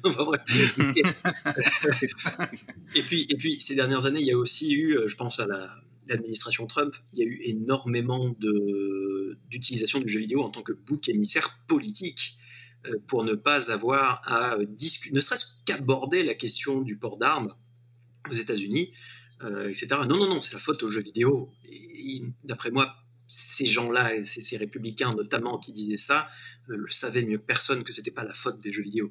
Donc il y a, cette espèce de, méconnaissance, de, de, crainte, et aussi ce manque d'éducation, à mon avis, mmh. vis-à-vis vis du médium et de ce qu'il représente. Quoi. En fait, c'est vrai que quand tu euh, critiques le jeu vidéo, tu sais un peu aujourd'hui euh, à qui ça va plaire ton discours. Donc si tu veux attirer des personnes qui connaissent pas le jeu vidéo, dire que c'est mal, ben, c'est un bon moyen de te mettre... Euh, te les mettre dans la poche parce que les gens qui ne veulent pas y toucher, qui le connaissent pas, ils disent bah, il est comme moi, il, ne sait pas ce que c'est, il n'aime pas trop ce que c'est. Du coup, on va, on va lutter ensemble. C'est ça, bien sûr. Est-ce que tu penses que ceux qui disent ça savent qu'ils disent une, grosse connerie Ou bien ils pensent légitimement? Parce qu'ils en ont cette image, ils ont cette culture, ils se disent non, mais c'est. tu penses qu'ils peuvent croire que c'est vrai? Bah, moi, je pense que c'est la crainte de la nouveauté. Je te laisse euh, donner ton avis, euh, Quentin. je pense que hum, une grande partie de, de, de, ceux qui étaient capables d'aller sur les plateaux télé à chaque fois qu'il y avait euh, un, truc à la R15 aux États-Unis et dire dans les yeux oui non c'est la faute des jeux vidéo alors qu'il y avait pour le coup aucun, aucune connexion ou quoi que ce soit eux ils le savaient que c'était un discours politique. L'électorat l'électorat républicain non il le savait pas et il était absolument. C'est de la, l'auto-validation un petit peu. Hein. C'est comme Facebook ou, Twitter ou autre qui vous montre exactement euh, ce qui est en accord avec vos croyances. C'est-à-dire que bah, euh, ouais, non, le lectorat dit ah oui, mais oui, non, il a raison. Les jeux vidéo, c'est quand même. Donc celui-là, effectivement, il n'avait pas conscience. Euh, il, disait oui, non, mais effectivement, lui, il comprend. Cet homme-là, vraiment, c'est des hommes. Hein, il comprend que le jeu vidéo, c'est dangereux, ça corrompt la jeunesse, etc. Est-ce que vous pensez que dans une certaine mesure, même un film, ça peut rendre violent certains, quand même? Ou pas du tout? Mmh, Je pense que ça peut rendre violent certains, mais pas plus que par exemple un film. Un film violent peut rendre euh, ah, aussi violent. Euh, on parle de rendre violent. Hein. Bah, Moi, j'ai l'impression que Enfin, faut qu'il y ait un terreau fertile en fait. Oui, c'est ça, c'est ça. Oui, si terreau fertile, n'importe quel euh, biais, n'importe quel discours peut valider ta, tes envies en fait. Euh, là, on entre dans, là, clairement, on entre dans le, dans le domaine de la psychiatrie, hein, mais euh, enfin, ma perception de la chose, et, c'est applicable effectivement, comme on disait au cinéma, c'est applicable même au livre ou à quoi que ce soit, euh, c'est le, parallèle avec la, tragédie grecque. La tragédie grecque, ça a toujours été extrêmement violent. Et, et la tragédie, et le pain et les jeux, et les, les, les jeux du cirque, etc. Et, pourtant, euh, les, philosophes à cette époque-là avaient déjà euh, trouvé la notion de catharsis, qui est celle de d'exorciser les passions de l'être humain, la violence que l'on a en nous, la frustration de notre travail, de notre couple qui fonctionne pas, de la voiture qui a, pas voulu démarrer ce matin, toute cette frustration accumulée qu'on extrait de nous-mêmes et qu'on exorcise en voyant de la violence, en voyant des personnes se faire trucider, en voyant des gens avoir des problèmes pires que les nôtres, ça nous fait aussi relativiser nos propres, nos propres soucis. Euh, tu regardes Antigone, tu te dis oui, bon, finalement, tu regardes Deep, tu te dis bon, oui, finalement, mes soucis, ça va. Euh, et, et, pour moi, le jeu vidéo, c'est exactement pareil. c'est pour ça d'ailleurs que les jeux vidéo comme, comme, comme Call of, ou dernièrement, moi j'ai eu un gros problème avec, avec la manière dont était formulé le, scénario de The Last of Us 2. Faire un discours sur la violence qui entraîne la violence, etc., avec un ton un petit peu moralisateur ça m'a pas trop plu parce que au final, un jeu vidéo violent, je pense à Doom par exemple, qui par essence pourrait être vu comme le jeu violent par excellence, hein, avec des grosses animations bien gore, etc. Bah, c'est sûr que pour euh, quelqu'un un regard extérieur, euh, tu lui montres deux images de Doom, euh, il fait. c'est ça, mais je peux vous garantir, si vous jouez pas à Doom et que, vous nous écoutez, vous jouez à Doom Eternal pendant quelques, quelques heures, vous sortez de là, vous êtes doux comme un agneau. c'est exactement. C'est exactement là où je voulais en venir. Moi, moi, je pense pas que ça rende violent. Et, euh, justement, il y, a combien de joueurs de GTA Il y a 152 millions de copies écoulées? Oui, oui, il me semble que c'est ça. C'est ça? Et eh ben, eh ben, je pense que sur Terre, il y a 152 millions de personnes un peu plus calmes. qui ont tout à fait d'accord. Déversé la haine euh, dans le jeu plutôt qu'en vrai. ouais, tout à fait. Il y a un truc quand même qui, euh, par rapport à la violence dans le jeu vidéo, qui peut-être a joué à un moment sur le fait qu'on puisse penser que que ça allait trop loin c'est que comme c'était un art nouveau, pendant longtemps, il n'y avait pas de régulation en fait sur euh, les contenus qui étaient affichés ou voilà. Et par exemple, tu vois, dans le cinéma, c'est depuis des, centaines, des dizaines d'années, peut-être 50, 60 ans, que les films ont une classification. Et comme c'est arrivé un peu plus tard dans le jeu vidéo, j'imagine, et encore aujourd'hui, même si ça existe, c'est encore très méconnu. Euh, les parents, ils savent pas forcément que quand il y a écrit 18 plus, euh, c'est pas un jeu pour les enfants, par exemple. Je pense que ça peut jouer un peu dans, ce, dans cette confusion, alors qu'en vrai, dans le cinéma, il y a des films pour tout public, des films un peu plus euh, violents et d'autres que tu auras, que tu auras pas au cinéma. Et c'est pareil avec les jeux vidéo. Et d'ailleurs, il y a des pays où certains jeux ne sont pas en magasin et qu'il faut aller acheter. Euh, pas des ouais, il faut, les, il faut les demander au caissier, il faut montrer sa carte d'identité, des choses comme ça. Après, c'est pareil, hein, c'est une question d'éducation des parents pour le coup. Hein, euh, bah, pour, pour, le, enfin, ces dernières années, à chaque fois que j'entends, j'entends un parent et j'en ai, ai entendu dans mon entourage des parents de oh là là, mais mon fils, ma fille joue à ces jeux euh, extrêmement violents, etc. chaque fois, j'ai envie de les prendre par les épaules. Il y a écrit quoi sur la jaquette? Il où Il y a quoi sur, dans le carré rouge? Il y a écrit 18 Ta fille, a quel âge? 12 ans? Ok, d'accord. Calme-toi. fais, ton, fais ton job de parent, en fait. C'est clair. Enfin bon, je dis ça, j'ai pas de gosse. C'est et aussi, sûrement, euh, tu dis ça, mais sûrement que quand tu avais moins de 18 ans, tu jouais à des jeux 18 plus aussi. Ah non, on a tous attendu d'avoir 18 ans pour jouer à. Bien sûr, bien sûr. ça veut dire, ça nous rend mais pas tu vois, en plus, euh, non, mais tu vois, en plus, euh, tu vois, on est tous un petit peu des, des témoins par l'expérience elle-même. On a tous joué à des jeux qui n'étaient pas pour notre âge. Bien je sûr. pense. Oui, forcément. Bah, j'ai, moi, à aucun moment, il y a un... enfin, j'ai eu cette impression que ça m'a choqué, que ça m'a donné envie d'être violent, que ça m'a. Tu vois, enfin, au contraire, enfin, j'ai, toujours eu, euh, j'ai toujours trouvé. Et d'ailleurs, c'est, assez aussi, c'est un autre, euh, je sais pas, c'est un phénomène. Peut-être que Quentin va me donner le nom de ce phénomène euh, quand je vais le décrire. Mais dis-moi, Jamie. j'ai toujours cette, cette impression que euh, l'image sans jouer est plus violente que lorsque tu joues. Et je m'explique. Par exemple, j'avais, j'avais vu des trailers de Goat Simulator. Quelle violence. Chef-d'œuvre de notre médium, bien sûr, euh, si vous ne connaissez pas. Et, et, je vois des, une chèvre se faire renverser par un camion, euh, gens qui rigolent et tout. Je dis putain, mais c'est, quand même un jeu de débile, ça, c'est, euh, bien con. Euh, et j'aime pas le côté, c'est marrant qu'un animal se fasse écraser par un camion, tu vois. Bien sûr. Je me suis dit, j'aime pas le, ce côté-là. Ensuite, j'y joue.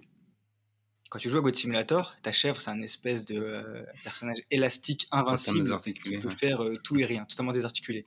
Et du coup, tu te fais renverser par un camion à un moment, et ça te fait marrer. Et je me, je me suis rendu compte qu'en jouant, j'avais plus de recul sur cette scène que quand j'avais vu le trailer. Pourquoi? Parce que quand j'y joue, j'ai des feedbacks, j'ai euh, des notions, des règles de l'univers dans lequel je joue, qui sont oui, complètement différentes de celles qu'on peut avoir dans le monde réel. Et le problème, c'est que quand tu vois un trailer, tu projettes les règles du monde réel. Parce que comme tu disais Quentin, lorsque tu vois quelque chose, tu projettes tout ton background.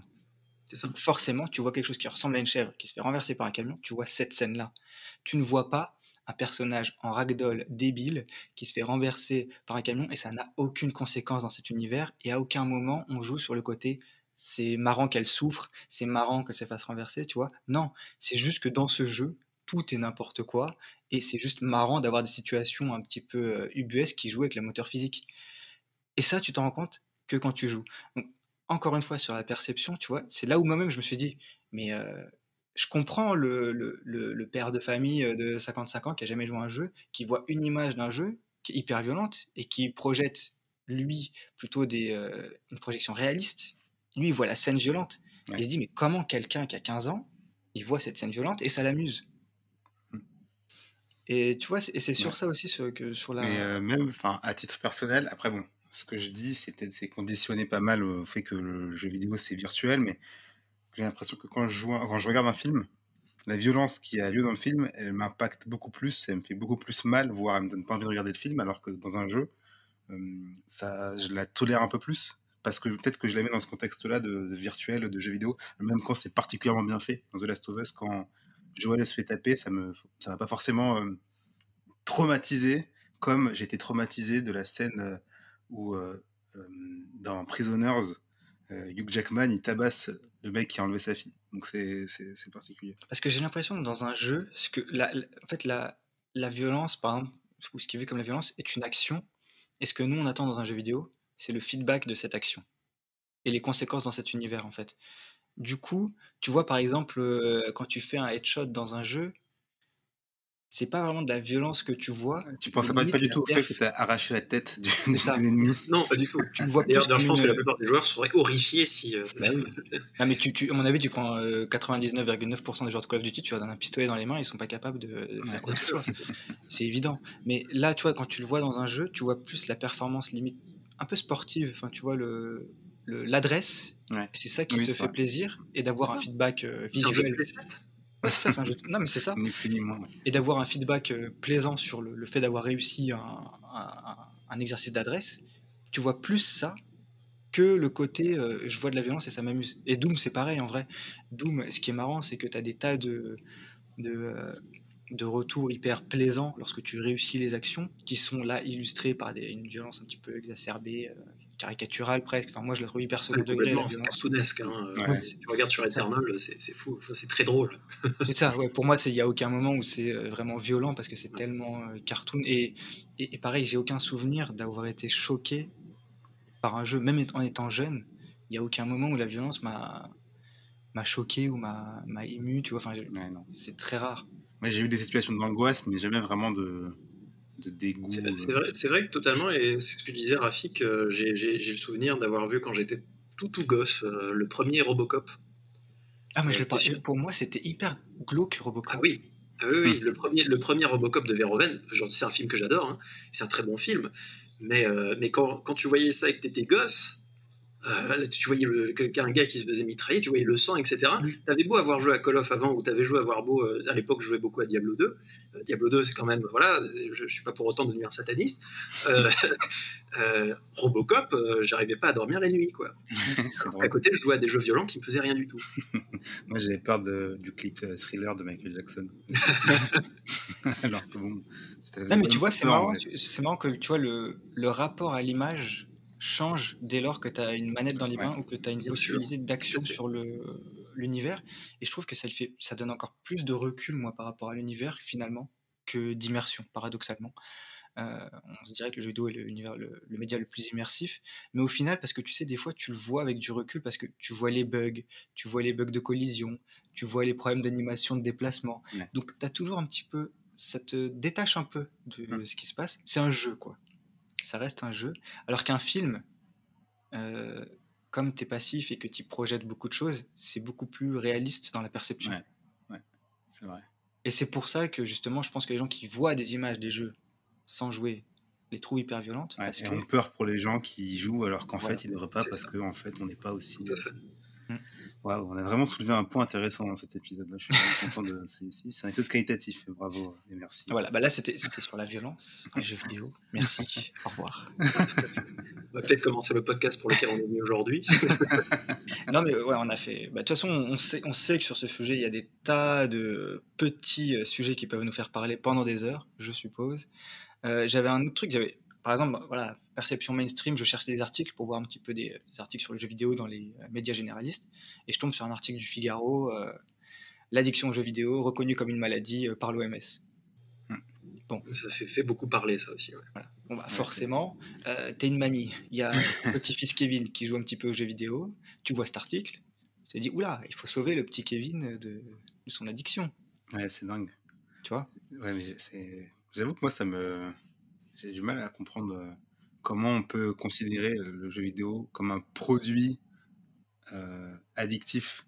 après, ça, peut, il peut y avoir des exemples. vois des gens qui passent leur temps à jouer, mais c'est quand même pas du tout le même mécanisme que les drogues, quoi. Donc ça me... Oui. en savoir plus. Comprendre. Énormément, énormément de choses à dire. Euh, la première chose, c'est que l'ironie était que euh, quand la crise Covid a commencé, l'OMS était la première à dire en fait, je, jouez aux jeux vidéo parce que au final, c'est pas si mal. Euh, vous n'allez pas faire des, vous n'allez pas en rave euh, former des clusters, donc au final, jouez aux jeux vidéo. ça me fait beaucoup rire. J'en ai fait une vidéo d'ailleurs, tellement ça m'a fait rire.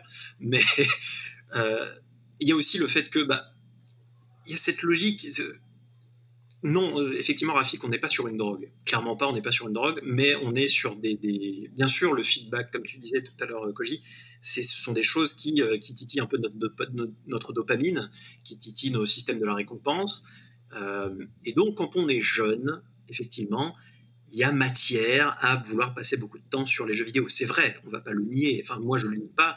Je passais mon, j'ai passé toute mon enfance sur Diablo 2 et World of Warcraft à un point qui était parfois malsain. Et c'était mon père qui me coupait le courant quand, quand j'excédais, quand j'excédais un petit peu, enfin, quand je déconnais un petit peu trop. Mais, euh, mais justement, mon père était là pour me couper le courant. Hum. Et ça doit dire ce que ça doit dire. C'est-à-dire que, eh ben, les jeux vidéo ou comme les bouquins, je sais que ma mère c'est quelqu'un qui, bon, je parle de toute ma famille hein, aujourd'hui. ma mère c'est quelqu'un a toujours beaucoup, beaucoup, beaucoup lu, à un point qui saoulait ses parents aussi. Donc, dès que quelque chose te fait plaisir, surtout en tant que gamin, tu vas avoir tendance à te réfugier là-dedans. Et euh, bah, aujourd'hui, j'imagine que c'est le cas de beaucoup de gosses dans Fortnite euh, qui euh, ont peut-être des mauvaises notes à l'école, qui ont des parents qui sont pas forcément trop présents, etc., qui se réfugient là-dedans. Est-ce que c'est une mauvaise chose? Pas forcément, parce qu'ils voient leurs ils voient leurs leur, potes dans Fortnite, ils voient, ils voient des, des, animations qui sont sympas. Fortnite, bon, il y en a qui disent que c'est violent, je suis désolé, il y a, il y a zéro sang, il y a un petit peu de feedback. Enfin, et puis franchement, bol avec des pistolets à eau, c'est la même chose. Hein, franchement, moi, sur Fortnite, il y a un truc aussi, c'est les capacités euh, cognitives et de réflexes que développent les gros joueurs de Fortnite. Parce que moi personnellement, je me rends compte, j'ai essayé, je, je, suis plus capable de, passer le cap. De, tu vois, la construction, c'est trop, trop compliqué. Quand tu vois un petit de 15 ans qui est là, qui construit une tour en, gérant son gunfight et euh, les armes qu'il a, les différentes. Je dis, mais incroyable. c'est incroyable. Donc j'ai envie de dire, bah pareil, on, revient, on revient finalement euh, à la même chose, c'est-à-dire que, encore une fois, je ne veux pas mettre toute la faute sur les parents, vous êtes des mauvais parents, là là là, mais euh, intéressez-vous. Si vous êtes un parent et que vous regardez ça et que vous avez peut-être des réflexions, bon, si vous écoutez un podcast discussion gaming, ça m'étonnerait que vous, fassiez partie de, cette population-là, mais euh, il faut s'intéresser, il faut accepter que bah, même, quand même c'est notre gosse et quand même c'est quelqu'un de beaucoup plus jeune, qu'on ait des choses à apprendre, qu'on ait des, des perspectives à avoir. Euh, essayer aussi pour avoir ce fameux feedback dont tu parlais, Koji. Et, euh, et juste, juste s'éduquer mutuellement et dire bah oui, bah tu passes 3-4 heures par jour sur Fortnite, peut-être euh, réduire ça, je sais pas, 2 heures, 2 heures et demie, parce que tu es quand même jeune, quand tu seras grand, tu pourras jouer un peu plus. Mm. Voilà, il y a une question de mesure aussi. mais comme pour tout. Mais ce qui est marrant, c'est que, bon, après, tu nous as donné le contre-exemple, mais je pense on reprochera à personne de trop lire. Aujourd'hui, oui. Tu vois, c'est. t'as, un enfant, il lit 15 euh, bouquins par semaine, tu vas jamais lui dire. Hmm. Il y a un souci. Tu, lis un peu beaucoup. Aujourd'hui, oui, il y, a, il, y a, il y a 150 ans, peut-être pas, tu vois. Donc, euh. J'avais eu une histoire de quand le roman d'aventure était sorti. J'ai, essayé de le trouver pour l'épisode La Source, j'ai pas retrouvé, tant pis. Mais euh, quand le roman d'aventure était sorti, ben, tous les enfants en âge de lire à l'époque, mmh. donc au tout début des années. à toute fin des, du, du 20e siècle, euh, du 19e siècle, pardon, quand les, enfants se sont mis à lire, il y a eu des articles dans les journaux, pareil qu'aujourd'hui avec le jeu vidéo, sur est-ce qu'il faut arrêter les romans d'aventure, est-ce qu'il faut les laisser aux adultes, parce que les enfants passent des heures à, lire ces trucs-là, euh, de faire d'autres choses. Les enfants, il faut qu'ils lisent la Bible, et puis...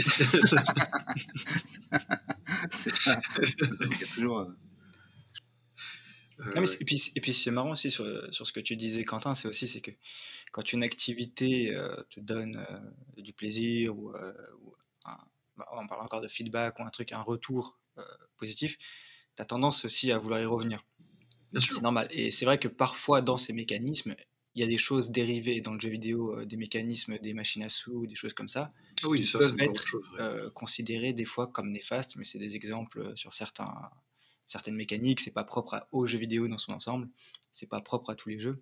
là, clairement, pour le coup, pour ce qui est lootbox, monétisation, etc., à mon avis, là, on fait une parenthèse, on arrive dans quelque chose qui est vraiment dangereux.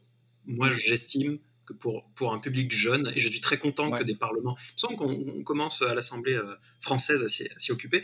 En s'en occuper, c'est déjà le cas en Belgique, en Allemagne. On arrive sur quelque chose qui est là beaucoup plus que la violence, à des, kilomètres de la violence. Pour moi, là, on a des, on a des psychologues et des psychiatres qui ont été engagés par ces, par ces boîtes-là, notamment Electronic Arts, pour faire du conditionnement psychologique Là, on a de la manipulation, là, on a du danger, là, on a euh, bah, le petit Billy, 12 ans, qui va être tenté par le jeu d'aller chercher la carte bleue de sa maman et pour être, euh, pour, pour, pour, euh, pour être conditionné pour des mécaniques de casino, des mécaniques. Et là, là pour le coup, oui. Là, on a, on a quelque chose de répréhensible. Ce qui est cocasse, là, c'est qu'on rentre dans, dans la vraie vie, quoi. Et c'est. Enfin, ils refont, ils réutilisent des mécanismes d'un truc qui existe dans la vraie vie, qui n'était pas dans le jeu vidéo avant, ils l'intègrent dedans, et en ça, c'est c'est vicieux. Quoi. Et c'est ça qui est malsain, et c'est là où on rentre dans un mécanisme proche de l'addiction ou d'addiction. Mais je, je, distinguerais ce mécanisme d'addiction un petit peu tiré des, machines à sous et du casino, répliqué dans le jeu vidéo, du mécanisme qui est autre chose, qui est que toute activité qui est plaisante est un petit peu addictive par nature. Je veux dire, tu te lances dans un sport, tu commences à kiffer, ce sport, tu commences à le kiffer, tu auras envie d'en faire le plus souvent possible. Et après, ça peut devenir ce qu'on appelle une passion. Et quand on a une passion, c'est quelque chose qui prend le pas, par définition, sur d'autres activités de ta vie, ou, sur lesquelles tu, donneras la priorité par rapport à d'autres choses. Tu vois après, je dirais que quand même, tout ce qui est, excuse-moi, je t'interromps, mais tout ce qui est gambling et tout ce qui est monétisation et, euh, et lootbox, pour le coup, avec la mécanique du hasard, mm. pour moi, hein, ça ne concerne que moi, on est quand même un cran de, un, cran de dangerosité au-dessus. Ah oui, non, mais c'est clair, mais c'est pour ça que je distingue ça du côté euh, dire c'est de l'addiction, juste ah, parce que c'est quelque chose que tu aimes bien, et où forcément tu reviens de manière récurrente. Mais ça, c'est complètement à dissocier du mécanisme addictif. parce que par définition, toute activité qui te plaît, c'est pour ça que je prends l'exemple du sport, on va jamais reprocher à quelqu'un de trop courir, tu vois. Mais si quelqu'un il court et commence à kiffer, il va encore plus, de plus en plus courir, bah, ça deviendra sa passion. Il va commencer à, checker le matériel de course, à regarder les courses qu'il y a dans, les parages. Il, des fois, plutôt que d'aller boire un verre, dire non, moi je vais courir. Et on va pas, on va pas le blâmer pour ça, tu vois. Alors que si tu dis, viens prendre un verre, non, moi je préfère ce soir, franchement, je préfère rester chez moi et jouer à truc. Ah. Ouais, tu vois, on va dire, il y a un problème, il se sociabilise plus, Tout à fait. Et si un jour Nike mettait un système qui faisait que plus tu courais, plus tu avais des chances de gagner du loot, qui serait voilà, payant, bah, ça, on pourrait se plaindre. Voilà, exactement. C'est ça. C'est deux choses à, dissocier. Mais c'est pour ça que c'est très compliqué, tu vois, et que souvent, les lignes sur l'addiction du jeu vidéo, c'est assez ambigu, tu sais pas trop de quoi on parle. Dans le jeu vidéo, il y a des tas de sous-genres qui sont plus ou moins euh, chronophages aussi. Donc forcément, c'est compliqué. Dès que tu parles de MMORPG, bon, bah, tu es sur un jeu qui par nature est hyper chronophage, donc c'est encore autre chose. Enfin, il y a beaucoup de sous... C'est ça qui est très compliqué avec le jeu vidéo, c'est que c'est tellement riche, c'est tellement vaste qu'il y a plein de micro-sujets à aborder dans les sujets qui font que ça, rend la lecture d'autant plus compliquée. À la fois, bon, même si tu t'y connais, et même si tu t'y connais, et encore plus si tu t'y connais pas.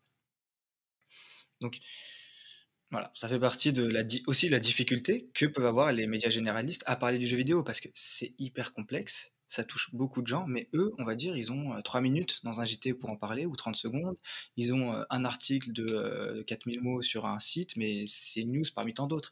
Donc forcément, c'est très dur aussi de... Là, c'est pour ne pas trop les blâmer, dire ah, les médias généralistes, ils sont méchants, etc. C'est aussi dire, c'est compliqué de, parler de jeux vidéo. Tu vois, même mais en même temps, ça, ça, deviendra de moins en moins à mesure que bah, les jeunes journalistes qui sortent d'école de, de commerce maintenant, ils ont, ils ont 25, 25 ans, la trentaine. Hmm. Donc on arrive organiquement à, des changements, j'espère, de ce point de vue-là. Je pense que ça va se faire naturellement. Ouais, c'est peut-être que dans peu de temps, j'avoue que j'ai pas regardé le journal de 20 ans depuis longtemps, donc peut-être que ça existe déjà.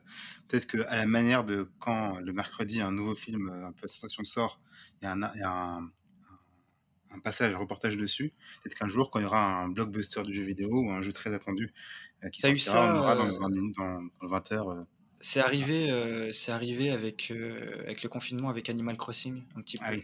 Mmh. Il, a passé la, la frontière du mmh. monde du gaming. J'imagine qu'ils m'ont parlé pour dire que justement ça devait une sensation, pas mmh. pour parler du, de ce qu'il y avait artistiquement par rapport ah à bah T'as Last of Us aussi qui a un petit peu fait parler de lui euh, au-delà de. Ça serait bien qu'il y ait des critiques euh, jeux vidéo qui viennent parler quand un jeu sort et qu'il est euh, attendu ou qu'il est particulièrement bien, un peu comme tu vas avoir des mecs qui vont venir parler du prochain James Cameron quoi. C'est vrai. Ça commence après sont, sont les représentants que qu'en tant que gamer nous on veut? C'est, bah justement, c'est le, on va parler du, troisième sujet qu'on voulait aborder justement. C'est est-ce que dans la transition, bien sûr, ouais, on a tendu la perche, mais euh, dans la dans la perception globale qui parfois est euh, mauvaise du jeu vidéo, est-ce qu'il n'y a pas aussi les joueurs qui sont responsables? Est-ce que les communautés de joueurs ou certains, pas tous, mais certains comportements qu'on a dans le jeu vidéo, euh, les réseaux sociaux et la, la fronde qu'ont certains joueurs ou les discours que tiennent certains joueurs, est-ce que ça contribue pas aussi à se dire, mais qui sont tous ces euh, geeks à la con? C'est sûr. je pense que si on parle des communautés en particulier, c'est toujours le sujet des, minorités euh, vocales et des majorités silencieuses.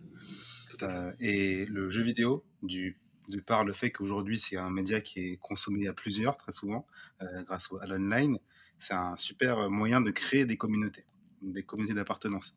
Tu vas avoir des communautés de gens euh, bien sous tout rapport, des communautés de gens qui se ressemblent, et forcément, tous les, euh, toutes les D'ailleurs, notre communauté est hyper... Euh, nous, elle est, elle est, vraiment géniale. Ah, ah oui, c'est vrai. Elle est, elle est, très, très diverse, très agréable. Non, mais attends, les, messages qu'on reçoit et tout, c'est... c'est bienveillance, intelligence, bienveillance, réflexion. tu, viens de souligner, tu viens de le rappeler. Incroyable, franchement, ouais.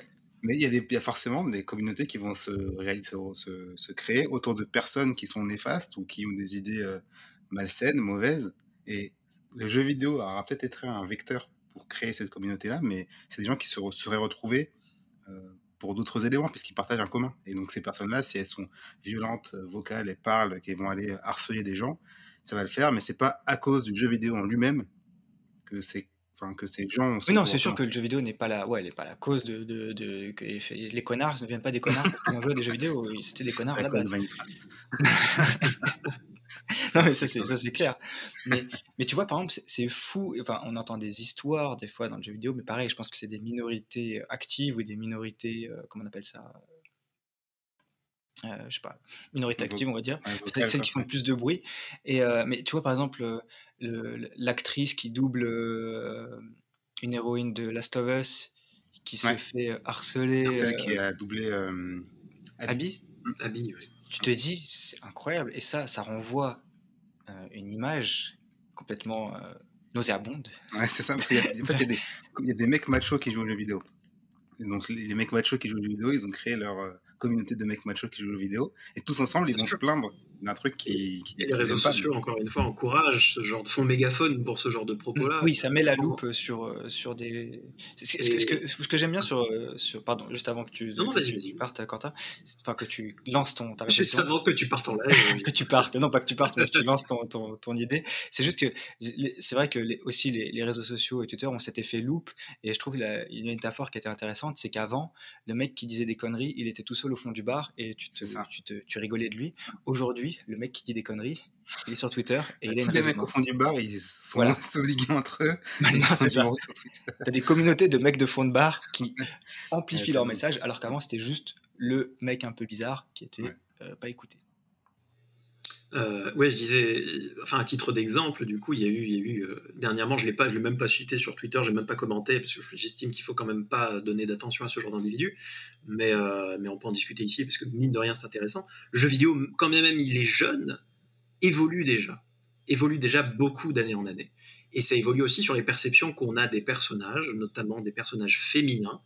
et il y a eu un débat sur le, look du personnage principal de Horizon Zero Dawn, enfin Horizon, à savoir Aloy, qui est un personnage formidable, qui est doublé par la formidable euh, Ashley Birch, euh, qui est donc celle qui est. Enfin, moi, je suis tombé amoureux d'Ashley Birch en jouant à Life is Strange parce que c'est elle qui double Chloé, euh, qui fait un taf formidable. C'est un personnage féminin fort et c'est un personnage féminin qui est réaliste. Et ça, ça ne plaît pas beaucoup de, mal. c'est la cible macho en difficulté avec euh, leurs propres aspirations vis-à-vis de la jante féminine. Euh, je veux dire, il faut pas se gêner pour le dire. Hein, ces gens-là ont aucune idée, j'ai l'impression, d'à quoi ressemble une femme. Euh, parce que bah, c'est le même débat pour c'était le même débat pour Abby. Abby, c'est une femme, elle a des muscles. Oh mon dieu, horrible, c'est pas possible. Ah si D'autant plus que c'était justifié dans la diégèse du jeu, puisque les Wolves, la, faction dont faisait partie Abby, étaient des, des, fanatistes militaires, si je dis pas de bêtises, et qui étaient donc la muscu, ça y allait quoi. Euh, et non, non, c'était pas possible d'accepter ça parce que c'est le jeu vidéo et donc, euh, donc dans le jeu vidéo, les femmes elles sont sexy et elles, sont, elles portent du maquillage quand même, même on est dans du post-apo et, euh, voilà. Et il y a, voilà, et effectivement, il y a cette espèce de. Et tu trouveras toujours forcément sur les réseaux sociaux des gens pour être d'accord et pour encenser ce genre d'individu-là. Et ça fait mégaphone, ça fait cet effet loop, comme tu dis, Koji. Et c'est vrai que, bah, encore une fois, il là c'est difficile parce que on est d'égo à d'égo, du coup, euh, s'éduquer mutuellement c'est compliqué donc j'imagine que de toute façon, je pense que le jeu vidéo va de, ces points de vue-là dans le bon sens, notamment quand si, si, ces, euh, ces polémiques-là euh, explosent, c'est parce que du coup il y a des changements et parce que bah, on challenge les préconceptions un peu stupides des gens, donc c'est que ça va dans le bon sens. Et, euh, c'est bien, et, mine de rien, ces gens-là se feront influencer, et ils finiront par suivre, par suivre un petit peu cette mouvance-là. Euh, mais oui, à mon avis, effectivement, il faut qu'on soit meilleur en globalité, en tant que, communauté. Ce qui est formidable avec le 3 qui, commence, euh, qui recommence euh, la semaine prochaine, c'est qu'on a l'occasion, et c'est aussi comme en France quand il y a le, le, The Event, hmm. on, a, on a ces occasions en tant que gamer, que ce soit juste français ou mondiaux, de se retrouver en tant que communauté peu importe la plateforme, peu importe la console, peu importe, la, peu importe les, les, les, les religions ou autres, ou les, ou goûts, d'être une communauté, d'être une grande famille. C'est peut-être un peu utopique de dire ça, mais sait-on jamais. Et euh, il faut qu'on soit meilleur, tout simplement. Non, mais c'est vrai que tu as, as, des mauvais exemples, euh, dans le, des fois sur Internet, mais tu as aussi des exemples absolument euh, géniaux d'agrégation de, de, gens autour du jeu vidéo euh, pour faire des choses positives. Bon, D'ailleurs, on en parlait dans un épisode précédent, mais, mais tu avais des tas d'exemples euh, hyper euh, beaux où, où, les gens se sont rassemblés parce que d'abord, la chose qui les rassemblait, c'était le jeu vidéo, et ensuite, ils se sont mis ensemble. Bah, d'ailleurs, par exemple, quand tu vois, quand Squeezie était chez Ardisson, tu t'es rendu compte de la mobilisation qui était capable de générer la sphère un peu, on va dire, gaming, slash YouTube, Twitch, etc., qui a une capacité de mobilisation assez extraordinaire.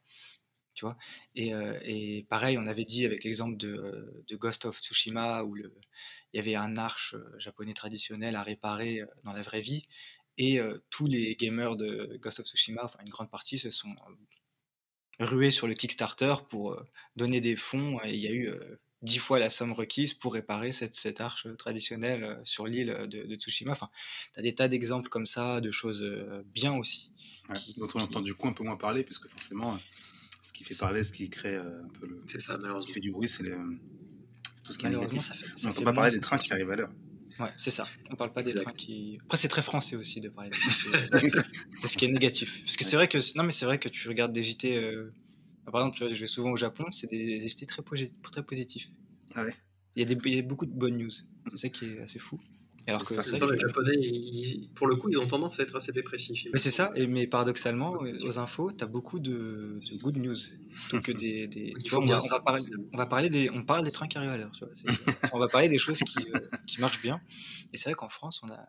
Je sais pas s'il y a, a peut-être des formats, journal des bonnes nouvelles, choses comme ça, mais, euh, mais c'est, euh, ça reste marginal par rapport à ce qui fait, ce qui fait sensation. Après, aussi, ce qu'il faut dire, c'est qu'il y a 2,5 millions, 2,5 milliards de joueurs. Donc forcément, les problèmes qui existent dans la société, que ce soit racisme, sexisme, euh, euh, etc., forcément, tu vas les retrouver dans ces 2,5 milliards de personnes. Enfin, c'est des, des, problèmes qui existent dans la société, ils vont forcément ressurgir dans la, dans la sphère gaming. Et la sphère gaming va leur donner un effet loop. Mais, euh, mais paradoxalement, le jeu vidéo, oui, euh, tu parlais des personnages féminins, ça date pas d'hier qu'il y a des personnages féminins dans le jeu vidéo. Oui, bien sûr. D'ailleurs, est-ce que tu sais quelle est la première héroïne du, jeu vidéo? La première héroïne féminine du jeu vidéo euh... Non, à tous les coups, j'ai quelques idées, mais à tous les coups, je vais dire une connerie. C'est qui?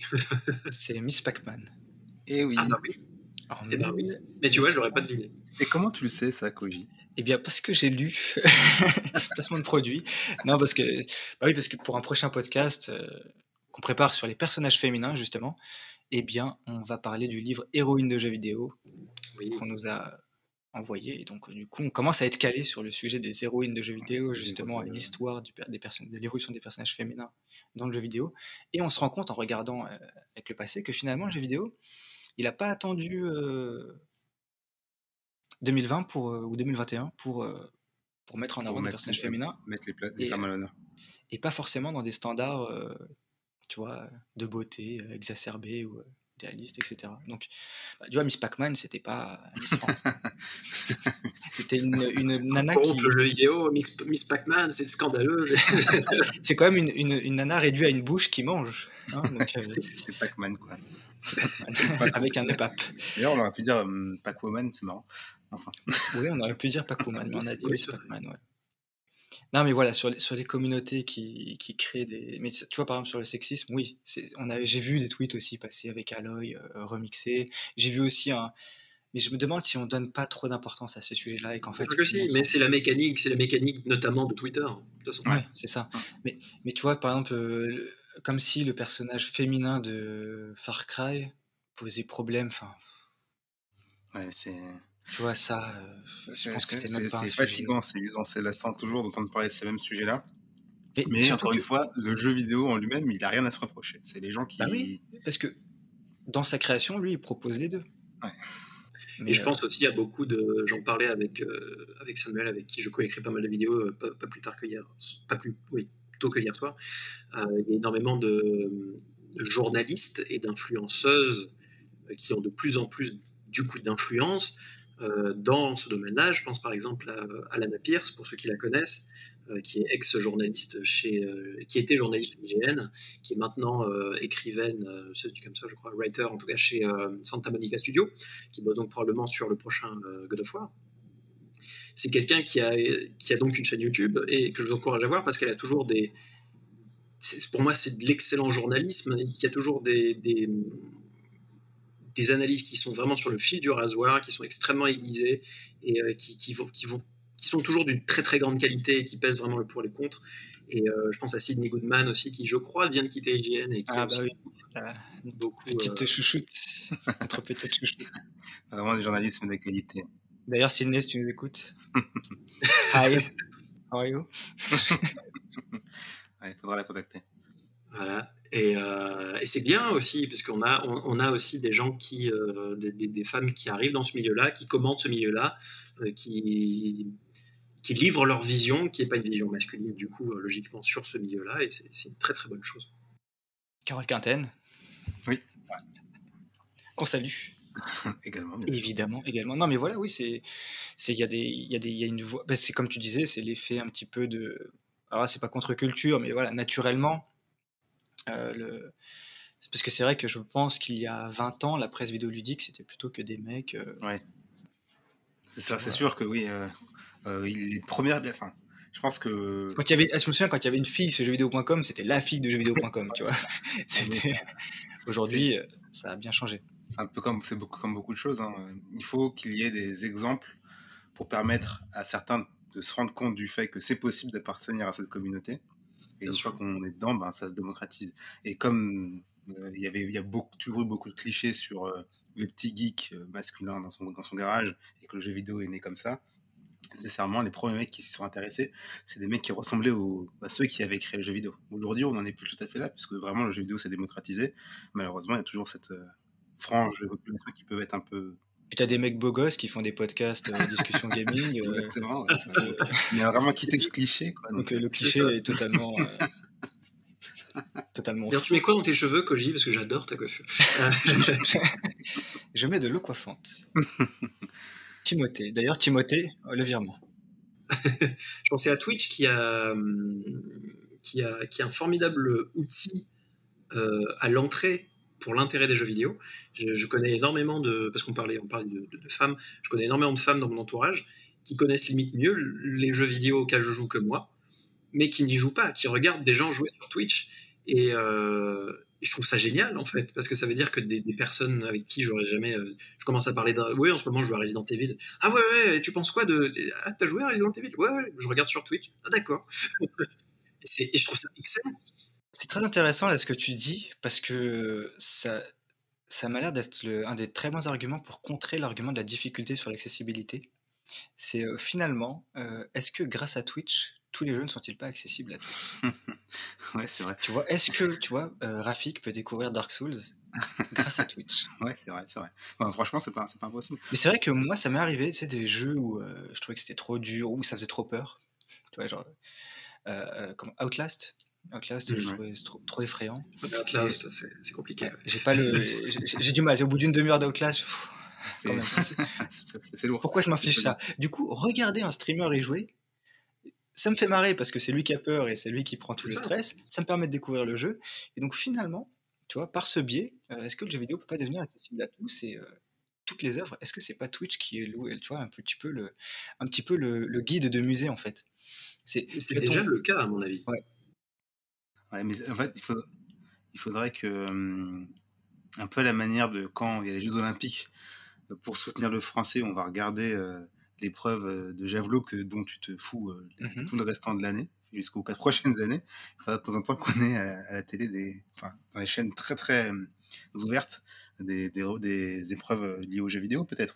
D'ailleurs, il y, y, y, a des épreuves aux Jeux Olympiques euh, de jeux vidéo qui vont à Tokyo. Gran Turismo est une, une une, euh, comment dire, une discipline officielle dans la partie gaming. Et d'ailleurs, les qualifications étaient ouvertes il y a peu, donc euh, on pouvait potentiellement nous qualifier euh, pour, pour les JO. Bon, c'était des chronos absolument incroyables, mais, mais c'était jouable pour tous. Tout le monde pouvait tenter et de se qualifier pour les JO. On peut devenir des athlètes tous. Passer 35 ans, on pourra devenir des athlètes si on veut quand même, si on, si on dans le jeu vidéo, ouais. Mais euh, c'est marrant, tu vois, c'est ouais, finalement je vois les, le petit streamer Twitch, enfin le streamer Twitch, le petit, pourquoi petit, je dis, le streamer Twitch comme euh, le, ouais, le nouveau guide de, de, musée qui lui peut avoir, et en fonction de celui que tu choisis, tu vois, il a son background culturel et tout, et c'est lui qui peut t'amener vers certaines œuvres. Par exemple, quand on était en live euh, chez Fox, il y avait Cal qui peut devenir ton guide Final Fantasy. tout à fait. Et, ouais, et je connais plein de gens. de la chaîne Final Gear, d'ailleurs, je précise. Ah, merci. Tu peux le répéter, s'il te plaît? Final Gear. Final Gear, qui est, euh, selon les mots de Fox, et il a tout à fait raison, euh, l'élite, bon, pour le coup, il est belge et pas français, mais, enfin, si j'ai bien compris, euh, l'élite francophone, du coup, sur, sur tout ce qui dit Final Fantasy. Donc, tu vois, c'est ça, c'est lui qui, est, qui a le, savoir, la culture et tout. Moi, me lancer dans Final Fantasy aujourd'hui, je, pense que ça me paraît une, une démarche incommensurable parce que c'est trop long, trop, trop dense, trop vague. Mais c'est vrai que le voir avec quelqu'un qui me digère un peu les infos, qui a le savoir, qui peut vulgariser la chose, et bah là, oui. Et, euh, et Twitch peut jouer un grand rôle dans ça. Donc ça, c'est, on est un peu dévié du sujet, mais euh, c'est, euh, c'est intéressant. Et justement, bon, c'est un sujet un peu connexe. Je voulais parler de l'élitisme dans le jeu vidéo, un petit peu le mépris du nouveau, de, de, de celui qui, du noob, Hein, mmh le mot, qui jamais, n'a jamais essayé un jeu multi et était un peu nul au début et tu t'es fait traiter de noob et tu t'es fait kicker de la room parce que tu n'avais pas le niveau, des choses comme ça. C'est vrai que ça, ça n'aide pas à démocratiser le jeu vidéo et à lui donner une perception positive vis-à-vis du nouvel entrant. Moi, je pense que, en fait, de notre fenêtre, on, voit cette, cette, cette, cette histoire d'élitisme. Si tu prends un peu de recul et tu regardes vraiment le jeu vidéo dans son ensemble, les élitistes, c'est vraiment une frange en fait. Et comme nous, on est proche d'eux, parce qu'on utilise les jeux vidéo, enfin, on joue aux jeux vidéo depuis longtemps peut-être, et qu'on est un peu plus pointu, on a l'impression qu'il y, y, a leur camp qui existe. Mais en fait, euh, le jeu vidéo va très bien sans ce qui se passe au niveau des élitistes, au niveau des élites. C'est très démocratisé et on peut considérer que jouer à Candy Crush, c'est être un joueur de jeux vidéo aussi. Donc en fait, euh, c'est un peu comme les, bah, c'est un peu comme les, les, les, amateurs de jazz qui vont euh, qui vont protéger leur art et dire ça c'est pas de la musique, ça c'est de la musique, ou alors les gens qui écoutent de la musique classique, qui vont considérer que tout ce qui n'est pas euh, euh, fait avec euh, des instruments symphoniques, c'est pas de la musique, ou encore les gens qui aiment que la, peinture de la Renaissance, quoi. C'est pareil. C'est une démarche intellectuelle que je trouve très mauvaise et qui n'est qu'un cercle vicieux parce que pourquoi s'en prendre à des gens qui commencent à s'intéresser à ce que tu aimes et qui te passionnent? Enfin, moi j'ai toujours trouvé ça hyper hyper con, hein, de, voilà, le mot est lâché. Non mais hyper bête comme démarche parce que au contraire, c'est génial que quelqu'un qui ne s'y connaisse pas vienne et veuille s'intéresser à quelque chose qui te passionne. Enfin, c'est juste trop bien. Tu vas pouvoir en parler avec lui, tu vas pouvoir lui, lui apprendre deux, trois trucs, tu vas pouvoir lui montrer des choses. Lui, avec son œil neuf, il va peut-être voir d'autres choses que toi, tu ne vois plus parce que tu es dans tes habitudes et tu vois. De la même manière que quand tu parlais avec ta copine Rafik des marques pour grimper, bah, elle, ça ne la, ça ne la marquait pas. C'est intéressant, tu vois, d'avoir un point de vue neuf et des trucs. Bah, moi, je trouve pas ça exceptionnel. Genre, voilà. C'est hyper intéressant. Et donc, je trouve ça hyper bizarre comme démarche de vouloir garder son petit, euh, son petit plaisir pour soi et euh, fermer la porte aux nouveaux entrants, alors que, euh, au contraire, et au contraire, ça ne peut que servir le jeu vidéo, qui est de plus en plus de gens qui s'y intéressent, puisque par effet, effet comment dire, domino, bah, ça va faire que dans telle sphère, il y aura plus de gens qui auront joué, qui s'y connaissent, qu'on ne parle plus que seulement avec les clichés, etc. Mais en même temps, en même temps, c'est pas une raison pour euh, laisser un peu la plus place à l'élitisme, pour arrêter euh, de faire des jeux pour les élites aussi, parce que ah bah, pour, c'est sûr. pour ceux qui se considèrent élites, ça peut être aussi. Alors, ouais. ça dépend de quelle élite on, enfin, quelle élite on parle. Pour, donner ma, pour, ah, je vais y arriver. pour donner ma perspective euh, sur le sujet, je suis totalement d'accord avec Rafik dans le sens où si tu prends un pas en arrière et que tu oublies encore une fois la, la minorité très vocale et très bruyante de ceux qui disent oh là là c'est nos jeux c'est les jeux difficiles. Ah c'est les Souls ah là, c'est nos jeux euh, le reste c'est pas le, jeu, le, vrai jeu vidéo. Euh, sur le cas des Souls en particulier et quelques jeux online euh, je, les citerai après au contraire en m'intéressant à, ces jeux là les Souls en, gros j'ai commencé à jouer aux Souls avec Dark Souls 3 donc c'est en 2016 oui c'est ça 2016 je, je sais absolument j'ai acheté le jeu en mode bon je vais essayer ça se trouve, ça va pas me plaire. Au pire, je connais le gars du magasin. Je reviens le lendemain, il me fait un bon prix, ça va. Euh, j'ai roté du sang sur le moment, bien sûr. mais j'ai persévéré. Et, et pourquoi j'ai persévéré? Parce que derrière, tu avais une communauté online qui était super aidante, qui était ultra aidante. J'avais fait mon premier post Reddit à l'époque dire ok d'accord où est-ce que je fais qu'est-ce que je fais euh, à quoi ça sert ça etc il y a toujours quelqu'un pour t'aider il y a toujours quelqu'un pour te dire bienvenue ce sont des jeux formidables avec euh, avec des univers formidables. Voilà les clés pour euh, pour connaître cet univers là en termes d'online j'ai récemment essayé je joue très peu online ces dernières années mais il y a deux expériences que j'ai essayées qui m'ont beaucoup plu c'est Hunt Showdown déjà qui est un jeu online de, de cowboy extrêmement difficile d'accès. En duo, c'est ça hein, C'est en duo? En duo, en duo ou en, ou en, euh, squad de 3 En trio, en duo en trio. Et, euh, et aussi euh, Deep Rock Galactic, que je, que je conseille à tout le monde, parce que c'est franchement un jeu formidable, et qui en plus coûte absolument rien. Enfin, absolument rien. qui coûte moins, beaucoup moins cher qu'un jeu triple A. Il est en plus. Voilà, oh les gars, vous avez vraiment aucune excuse. en plus, il faut pas un PC de malade pour le faire tourner. Donc, voilà pareil, des communautés vraiment et en jeu, pas que online, mais en jeu, des gens qui arrivent et qui sont là en mode ok d'accord les gars, vous avez quelle ancienneté sur le jeu, ok vous êtes des nouveaux, on va vous aider, attendez j'appelle un pote, euh, voilà. Et euh, c'était déjà quelque chose qu'on voyait dans, enfin moi je suis un grand vétéran de, World of Warcraft. World of Warcraft c'est marrant parce qu'il y a toujours eu euh, cette barrière à l'entrée, parce qu'on avait tous, on était tous relativement jeunes, on avait l'argent de poche, etc. Mais il fallait avoir la carte bleue de maman ou de papa pour pouvoir payer l'abonnement. Et du coup, ça avait une espèce de barrière à l'entrée. C'est-à-dire, c'était pas comme n'importe quel MMORPG gratos où euh, tu avais n'importe qui et ça flamait c'était toxique. Euh, donc, ça a peut-être joué. Mais aussi, j'ai eu parmi les meilleures, les, plus fortes et les plus incroyables interactions humaines que j'ai eues dans ma vie sur World of Warcraft. Et c'était, c'était vis-à-vis de gens que, que j'ai jamais vus et jamais rencontrés, quoi. Donc, je pense que il y a une potentialité dans le jeu vidéo, dans, sa globalité, de faire, même dans le jeu vidéo solo, on parlait des Souls, bon, il y a une partie online, mais euh, moi je joue Souls sans solo, de vraiment, encore une fois, agir en famille, agir en communauté, et, euh, ça se développe peu à peu, et surtout, il faut jamais, à mon avis, euh, parler de l'élitisme comme certains journalistes le font quand un certain jeu trop difficile arrive. Euh, mettre tout ça sur le dos de ah oui non mais en fait tous ceux qui jouent au Souls euh, tous ceux qui jouent aux jeux difficiles par exemple ce sont des élitistes. Euh, il y a un peu cette volonté de, de dire ah non non c'est pas des jeux pour vous parce qu'on est élitiste et le reste c'est pas jeu vidéo. C'est pas vrai c'est pas vrai. D'après moi ça représente pas le jeu vidéo. Ça représente pas les communautés de jeux vidéo. C'est marrant parce que oui à travers à travers ce débat il crée un petit peu un clivage qui n'existe pas en fait tout à fait et, et c'est vrai que ça c'est on en parlera plus tard dans les les représentants du jeu vidéo en France. Mais c'est vrai que sur, sur, les, sur Dark Souls, moi je te rejoins totalement. C'est moi j'ai découvert avec euh, Dark Souls. Je suis pas hyper fort ou doué, tu vois. Et en jouant à Dark Souls, c'est la première fois que j'ai ressenti une espèce de. Alors, je suis pas allé sur les forums et tout pour demander de l'aide. Je lisais les petits messages au sol, euh, je, voyais les silhouettes. Oui, il y a ça aussi, mais ça, ça, participe de la même chose. C'est vraiment intégré euh, profondément dans le jeu. D'ailleurs, ce qui est marrant, c'est qu'il y a beaucoup de similitudes entre Journey et euh, la manière dont euh, Dark Souls intègre le multijoueur si on fait attention sur, la manière dont les joueurs interagissent entre eux. Et euh, ce qui est paradoxal quand tu as l'image de loin de Dark Souls. Mais en fait, mm. c'est un jeu hyper, hyper communautaire où on se serre les coudes. Et moi, par exemple, j'ai fini Dark Souls. Donc je peux parler de jeux vidéo parce que j'ai fini. j'ai fini Dark Souls. Et je suis pas un vrai gamer. Enfin, je suis pas un vrai un mec de l'élite parce que j'ai battu aucun boss tout seul j'ai toujours appelé à l'aide pour les boss. Mmh, Et j'ai toujours eu des joueurs qui sont venus, qui m'ont montré, qui, qui m'ont aidé à battre les boss. Euh, avec les marques au sol, j'ai eu des indications sur les chemins et tout. Donc j'ai été hyper aidé en fait dans Dark Souls. Et j'ai jamais été autant aidé dans un jeu que dans un Dark Souls.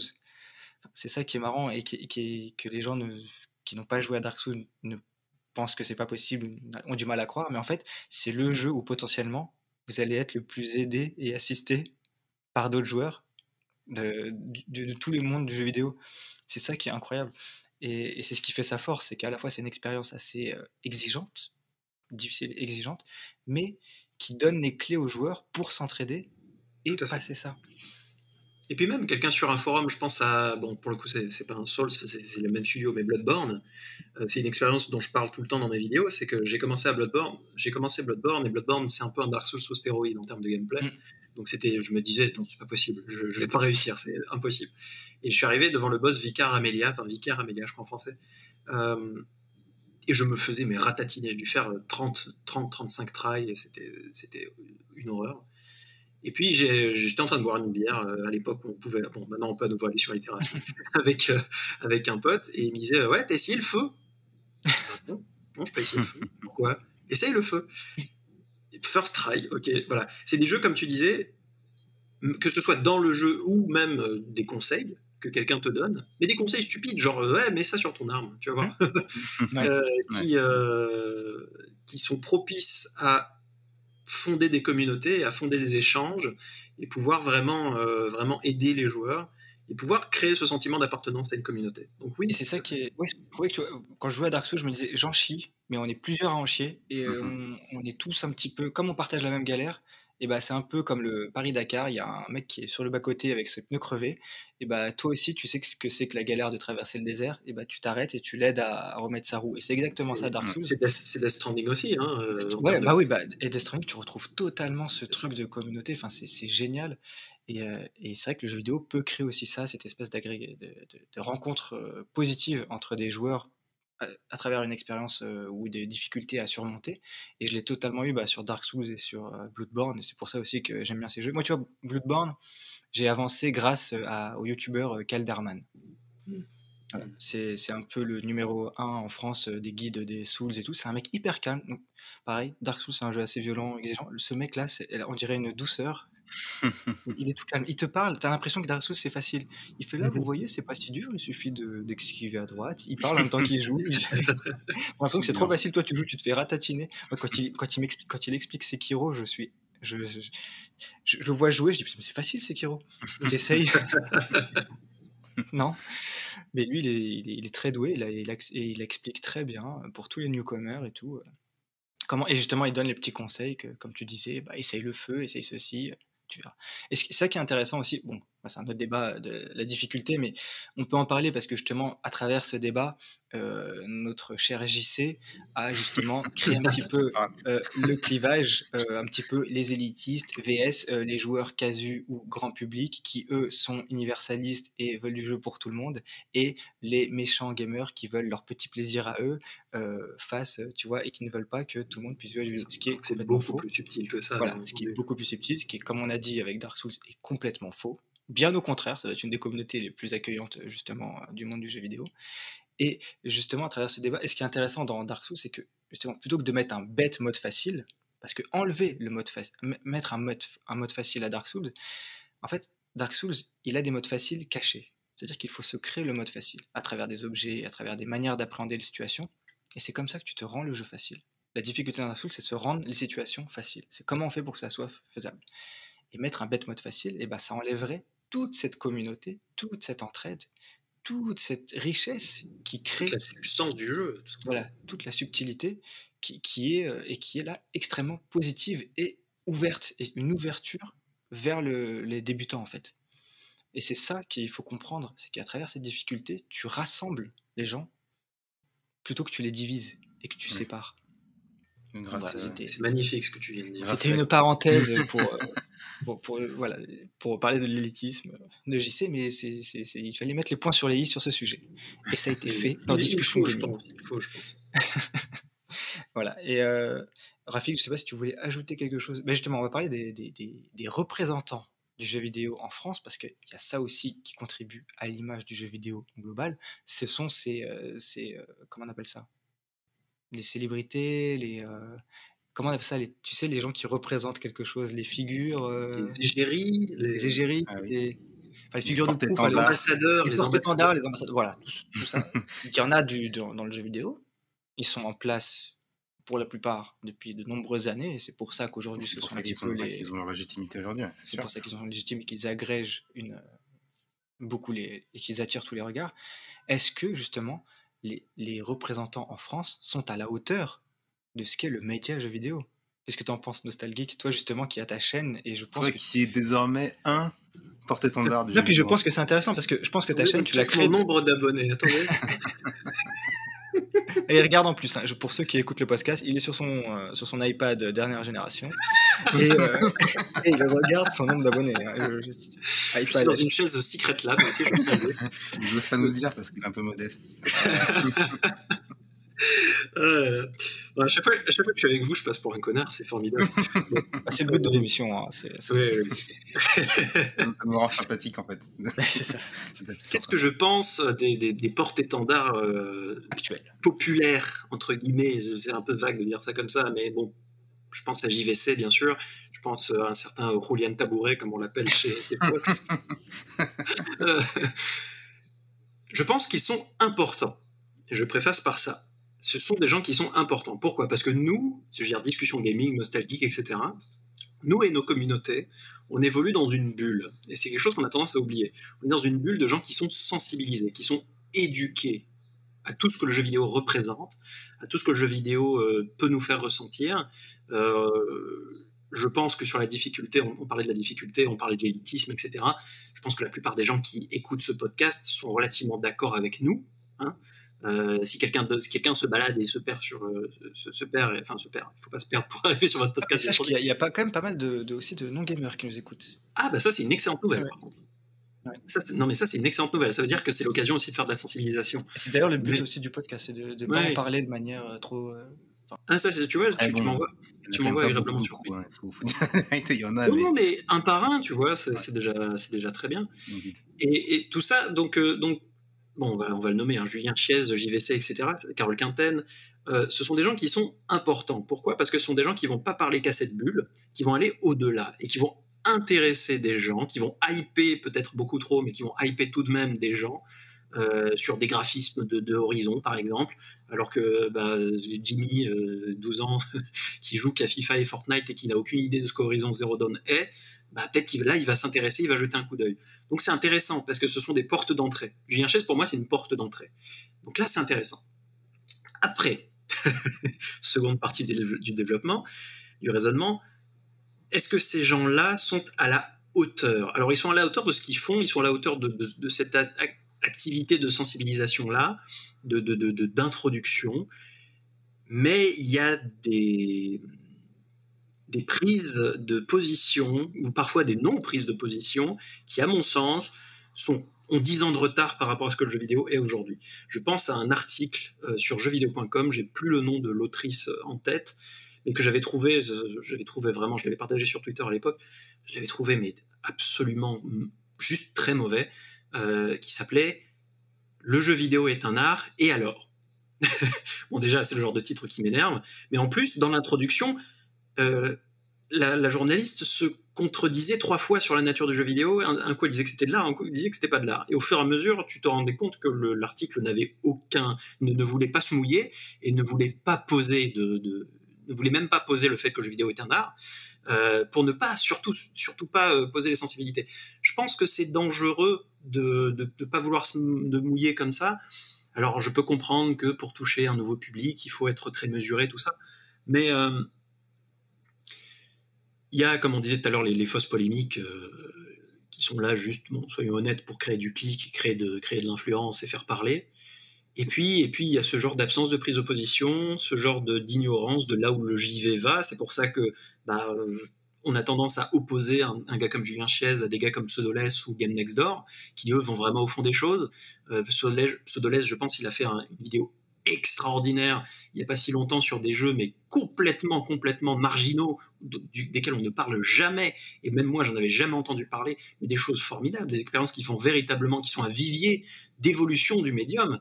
Euh, alors oui ça ressemble à rien. Oui c'est fait par, par un petit gars dans son garage pour le coup. Mais c'est l'avenir du jeu vidéo et ça va influencer d'autres d'autres créateurs de jeux vidéo. Il faut en parler, il faut en parler à un niveau plus élevé. Alors oui, il faut faire du, du, du putaclic à côté, et oui, il faut, euh, il faut dire ah là là, regardez, c'est incroyable, la difficulté, tout ça. Bon bref, oui. Plonge dans l'eau sans transition, tout ça. mais, ça aussi, c'était. Ça aussi, c'est méfiez-vous des, des, des réactions à chaud. Pareil, les réactions à chaud pour moi, c'est l'épitome du mauvais journalisme. Parce que n'importe qui, je pense qu'on est devant, devant la démo, il faut qu'on anime un chat, on a 10 000 personnes qui Oui, tu vas, tu vas dire des conneries. Euh, forcément, tu vas dire des conneries. Forcément, tu vas dire des conneries. Alors là, ce qu'on lui reproche, c'est pas forcément d'avoir dit une connerie, c'est de dire, c'est d'assumer sa connerie. Bon, bref. Mais, euh, comment dire? Je pense que, je pense qu'il faut élever un peu le débat. C'est ce que, c'est ce qu'on essaye de faire, c'est ce que vous essayez de faire sur le podcast, c'est ce que j'essaie de faire sur ma chaîne, c'est ce que tant de gens essaient de faire. C'est ce que je disais sur, sur ta chaîne et je pense sur la manière dont tu l'as créée. Je sais, enfin, par exemple, euh, discussion gaming, tu c'était une idée de ma part d'abord.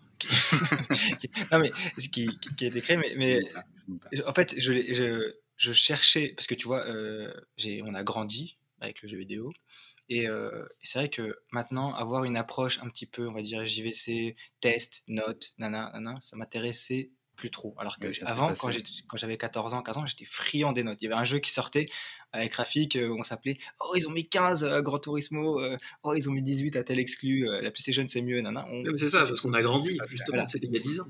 Mais on avait 14 ans à ce moment-là, et voilà.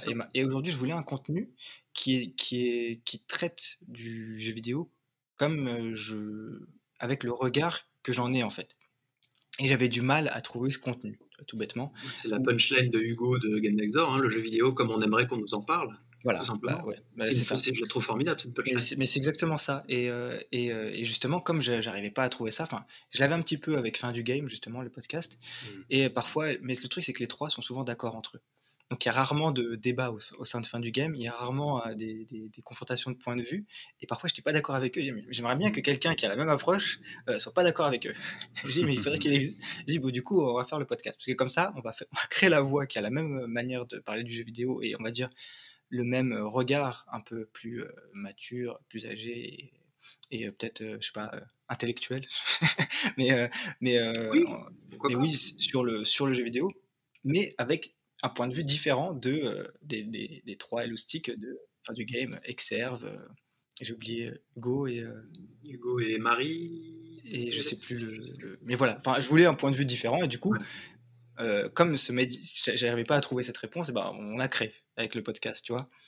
C'est une belle initiative. et, et, je pense que toi aussi, ta chaîne, tu as créé ce que tu aimerais consommer comme contenu par rapport aux jeux vidéo. Bien sûr tu te, tu te dis, j'aimerais bien des vidéos d'analyse sur euh, les blockbusters ou les jeux AAA, euh, sur comment ils sont faits, etc. J'arrive pas à les trouver en français. Bah, je vais le faire. Donc en fait, tu réponds à ce. À ce, ce, ce... Et ce qui montre aussi qu'il y a actuellement peut-être un léger vide. Enfin, une case. certainement. Une case qui n'est pas encore entièrement comblé. En France, hein, oui, c'est clair, parce que je regarde beaucoup dans de YouTube. Moi, mes youtubeurs préférés, ils sont plutôt euh, anglophones ou, euh, oui, américains. Pareil. Games, euh, Games Developer Toolkit. Bien sûr. Mark Brown, la, référence. Alana Pierce, on t'a parlé aussi. Alana Pierce, voilà. Enfin voilà, tu vois. Et c'est vrai que on n'a pas forcément la Alana Pierce française. Non. Carole Quinten, avec toute la bonne volonté du monde et ce qu'elle fait, ça n'est pas la Alana Pierce française. Non. non. Euh, ouais, du coup, ça, ça me donne envie de rebondir parce que quand on parle de représentants du jeu vidéo en France, on dit que ce sont des représentants simplement parce qu'ils ont une grosse audience. Mais quand on réfléchit à la façon dont ils ont leur audience, c'est pas parce qu'ils démocratisent le jeu vidéo, c'est parce que euh, ils construisent leur, euh, leur contenu de sorte à ce que le plus possible de gamers soient intéressés. Par exemple, ils vont mettre un titre qui est alléchant, ou à mettre du suspense, grosse annonce. Ouais, oui, ça va pas venir des, des, gens qui aiment pas le jeu vidéo, ça va pas les intéresser, ça va pas leur inculquer ce que c'est. Ça va juste faire venir plus de gens qui n'avaient pas forcément de, de, contenu vidéo à regarder. Euh, et donc ça fait grossir la chaîne artificiellement. Mais en même temps, c'est pas pour autant qu'ils sont euh, particulièrement euh, créatifs ou particulièrement. Enfin, ouais, mais tu vois par exemple. Pas la démocratisation quoi. Bah, par exemple, par contre, dans le cas de, de, Julien Chaise, je pense qu'il participe à une certaine démocratisation du jeu vidéo. Je pense qu'il est celui qui peut parler de Horizon Zero Dawn à quelqu'un qui ne joue pas à des jeux vidéo. Je pense, que c'est vraiment. a acquis une légitimité du fait qu'il a une, grosse communauté. Et donc, si tu cherches un mec pour parler de jeux vidéo, a priori, avec lui, tu ne te trompes pas. Ce sera lui qu'on va prendre comme représentant. Tu sais un peu de la manière dont on. Mais il, a la télé, souvent, hein. il est souvent à télé. Et tu vois, on prend, on prend les experts. On prend un expert du domaine. Tu vois, quand on, quand on fait un plateau télé. on ne peut pas lui enlever que c'est le numéro 1. Hein. Ah oui, complètement. Et c'est lui qui sera sur le plateau. Et donc, parce qu'il est cette figure grand public du jeu vidéo ou qu'il est celui qui incarne euh, la, la, news jeu vidéo pour un journaliste télé, il se dit qui je vais prendre pour parler de tel jeu? Je vais prendre Julien Chaise. Et du coup, il est euh, par nature un représentant hyper important en France du jeu vidéo. Mmh. Après, est-ce qu'il est à la hauteur? Est-ce que c'est un autre débat? Mais il est une figure hyper importante. Et d'ailleurs, bah, le débat sur la difficulté, quand il lance un débat, c'est toute la France qui, qui part sur son débat. ça enflamme la toile et même, même l'international, oui, totalement. Donc, il, est, il est un représentant hyper important euh, du jeu vidéo. Après, est-ce que c'est ça, c'est clair.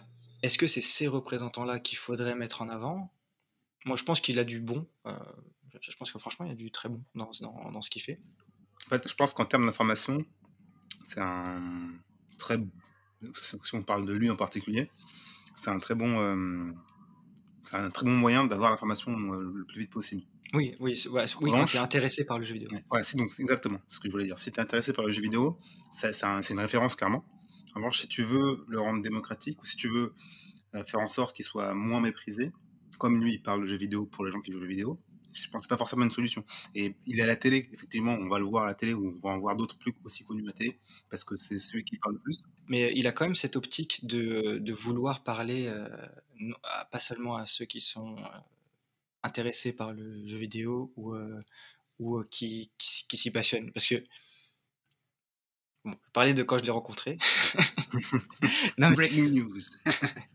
non, parce que j'avais failli bosser chez Gameblog euh, à l'époque et j'avais fait mon entretien avec euh, Julia Chiez euh, pendant deux heures. Full disclosure. voilà. Et, et, et on, avait, on avait vachement discuté du jeu vidéo et justement, il me, il me, il me disait dans ses intentions qu'il avait une volonté de ne jamais parler avec des termes techniques complexes hmm. qui ne parlent qu'aux gamers.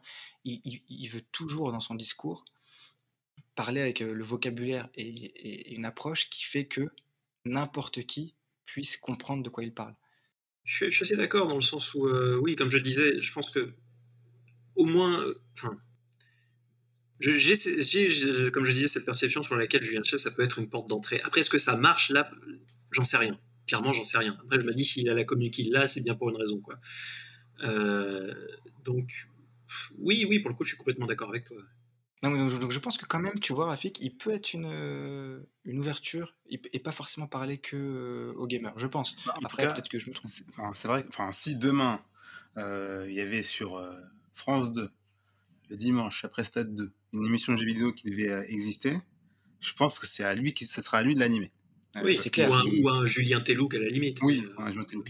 Mais en fait, du coup, ce que je reproche, mais je le reproche pas, pas à lui précisément, mais juste ce que je reproche aux représentants aux jeux vidéo en France en général, c'est que les et c'est pas de leur faute du tout, c'est que même les plus euh, connus, ceux qui s'adressent au plus grand monde, non, pardon, ils s'adressent quand même à ceux qui jouent aux jeux vidéo et ils ont pas accès à la démocratie. je, vois, mieux ce que tu veux dire. Ok.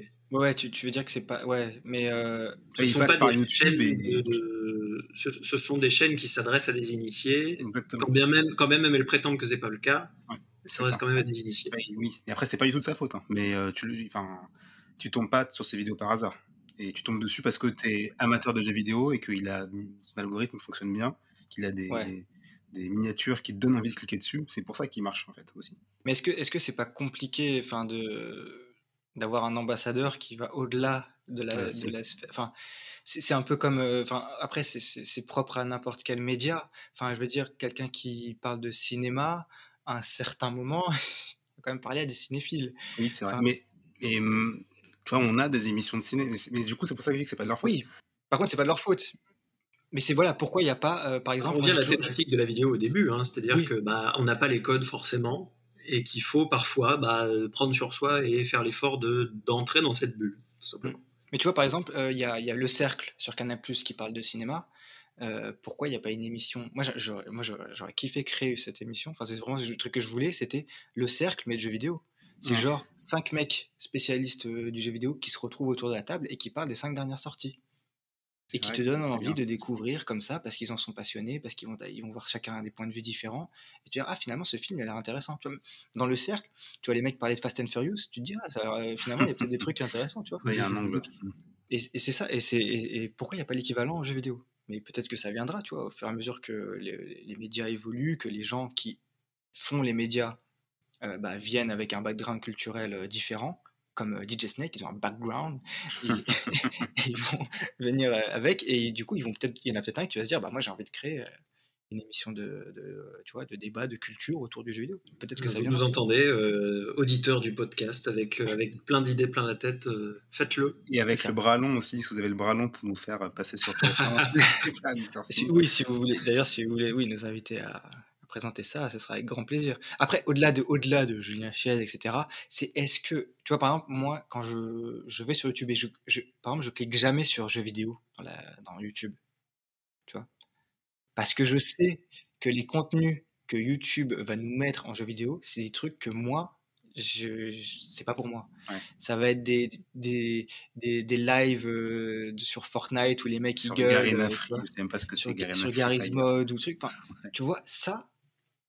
Alors je dis pas que c'est pas bien ou je fais pas un jugement de valeur sur leur contenu, mais tu vois, ce genre de contenu, c'est encore moins une porte d'entrée pour, pour les gens et pour la perception générale du jeu vidéo. Je veux dire, voir des miniatures où je vois un mec qui, qui, qui a la, bouche bée euh, avec les yeux gonflés, euh, comme un Tex Avery euh, devant Fortnite, ça va pas me donner une image du jeu vidéo que c'est un art, tu vois.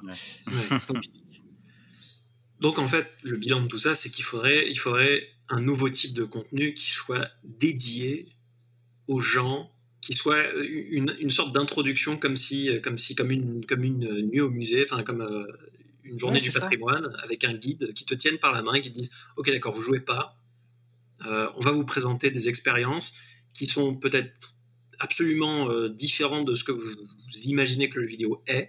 Je sais pas, faire jouer les gens à Shadow of the Colossus ou, mm. ou Ico ou des jeux ou un autre jeu de Fumito Ueda ou autre. et oui, c'est vrai que comme contenu, ça serait vraiment incroyable tu vois, sur ce que tu dis, c'est exactement ça. C'est que j'ai l'impression, c'est comme si sur, euh, comme si j'allais pour me proposer des peintures, j'avais que des miniatures sur YouTube où j'ai des, des, mecs de 15 ans qui réagissent aux peintures avec des titres putaclic, tu vois? Et du coup, tu vois, du coup, j'ai pas envie de voir ces peintures, tu vois? Mais j'ai pas la mise en avant du guide hmm. qui va me donner l'explication synthétique, vulgarisée pour que je puisse apprécier l'œuvre. Non. Là, tu vois, et, c'est là où je dirais que, et en France, parce que c'est pas forcément le cas aux États-Unis, aux États-Unis, je pense qu'il y a des tas de créateurs de contenu excellents autour du jeu vidéo, justement, qui peuvent être des, guides et des. Enfin, moi, franchement. Bah, je pense là, tu, on, parle, on parle de ça, je pense à. Pour, pour les anglophones qui nous écoutent, je pense à Rasbuten, euh, qui a fait toute une. qui s'est fait connaître, en fait, avec une série de vidéos qui s'appelait euh, Gaming for Non-Gamer. Hmm. Et euh, donc euh, le concept de ça, c'est qu'il prenait un jeu, ou plusieurs, mais généralement un seul, Minecraft par exemple, ou euh, Shovel Knight, etc. Et il faisait jouer sa femme, qui n'avait jamais tenu, pour la plupart du temps, qui n'avait jamais tenu une manette de sa vie. Et c'est très très très très intéressant. C'est vrai que ce genre de contenu-là, en France, ça serait formidable. C'est clair. Bon, il n'y a plus qu'à. Hein. Il n'y a plus qu'à. Qu'est-ce que j'attends Avec ton audience, tu, peux le faire. je vais créer, je vais créer une, chaîne, secondaire. Je voler notre concept et puis ben, il va compter le, succès. Non, je vous engage avec toute la YouTube monnaie que je gagne. Ah, engagé au SMIC. Très bien. Ah, on sera payé par la visibilité, c'est bien. on sera payé par la passion. C'est ça. Parce que la passion paye le loyer, bien sûr. il est très compréhensif, mon propriétaire. Ah oui, j'ai de la passion. Euh, voilà, et je pense que. Est-ce que vous avez des choses à ajouter sur les représentants français du jeu vidéo? Bah, Ajouter des choses. Euh, je pense qu'on a fait, on a fait un bon tour et puis on a traité énormément, on a traité d'énormément de choses parce que quand on parle de, de, la relation qu'a euh, le peuple français, des guillemets avec mes doigts, hein, avec, avec, le jeu vidéo, c'est vrai qu'il y, y, a beaucoup de choses à faire évoluer. Mais je pense que s'il y a une chose à garder de tout ça, c'est que ça va dans le bon sens ça va dans le bon sens. On a aujourd'hui, par rapport à il y a 10 ans, énormément d'offres, énormément de sensibilisation. Il y a des créateurs qui pop euh, à droite à gauche sur toutes les plateformes. Je pense à vous, bien entendu. Je pense à Fox, je pense à bah, ceux de l'Est et Game Next Door, qui sont, à mon avis, des, des, des, euh, bouffées d'air frais dans le discours sur le jeu vidéo en France. Euh, et qui s'inspirent, bien entendu, de, bah, de, de, ce qui se fait aux États-Unis, parce qu'ils sont beaucoup plus en avance que nous là-dessus. Donc, je pense que le meilleur reste à venir. Et ben voilà, on va finir sur cette Des note d'espoir. tout à fait, tout à fait, Rafik, ouais. Bah, c'est bien de finir sur de l'espoir et justement sur, sur comment va évoluer euh, l'image et, la perception et le regard qu'on peut avoir sur le jeu vidéo. Et voilà, je pense que ce... on va conclure l'épisode là-dessus. On rappelle, bah, d'ailleurs, dans ce sens de contenu qui fait un petit peu évoluer l'image qu'on peut avoir du jeu vidéo, bah, il y a la chaîne Nostalgique, mais c'est pas nous qui allons te, faire de la pub, hein, c'est plutôt toi en parlant de nous. C'est plutôt toi en parlant de nous, hein, ce sera plutôt l'inverse, hein, je t'avoue. On discute, on discute chèque et liquide off, record. voilà. donc, plus besoin de présenter Nostalgique, hein, de toute façon. Il a sa YouTube monnaie, son audience, euh, son iPad dernier cri, sur lequel il regarde seulement son nombre d'abonnés. Hein. Son iPad, il sert Il n'affiche que ça. C'est un modèle. il utilise un compteur de likes, de, followers. C'est ça, il est en, mode fond d'écran, il y a juste le nombre de compteurs. Ça, défile. il avait besoin d'avoir la, bonne résolution d'image, d'où l'achat de Nombre d'abonnés en Full HD. Retina 4K. Voilà. Pour Mais voilà, mais, mais, ce qui va dans le bon sens, parce que tu vois aussi qu'il y a une. Tu disais une note d'espoir, il y a aussi en France un public qui est de plus ah en plus euh, friand de ce genre de, contenu par rapport aux jeux vidéo, ce qui montre aussi que voilà, il y a, il y a cette audience et ce regard aussi porté sur le jeu vidéo. Et ce qui tout, à faire, tout reste à faire, en vrai. Ce qui est aussi une note d'espoir. Rafik, pour conclure cet épisode Alors pour conclure l'épisode, je vais dire ce que je dis à chaque fois, de fin, de chaque fin d'épisode. Euh, si l'épisode vous a plu, ce qui est quasiment certain, vous pouvez euh, mettre 5 étoiles sur l'application Apple Podcast, mais sur n'importe quelle autre application aussi, sur Spotify. Vous pouvez euh, nous laisser des messages sur Twitter ou at Discussion 2 ou sur Discord avec un, lien un peu compliqué qui sera dans la description. et vous pouvez venir discuter avec nous dès que vous le souhaitez. et je crois que c'est tout ce que j'avais à dire. Voilà, le pouce bleu, les commentaires euh, positifs ou négatifs, on s'en fiche. C'est vrai euh, que fait, le fait d'avoir des commentaires, c'est bien. N'hésitez pas à en laisser, même si c'est un bougon, on sera content. Mais pour l'instant, on n'a pas eu de commentaires négatifs, donc euh, c'est très bien. Soyez le premier à commenter négativement. On a une super, une super communauté qui n'ose pas le faire. C'est ça. Franchement, ouais. Qui donne aussi de l'espoir. Donc voilà, c'était tout pour la perception du jeu vidéo. Portez-vous bien et euh, à un prochain épisode. Salut. À bientôt. Ciao.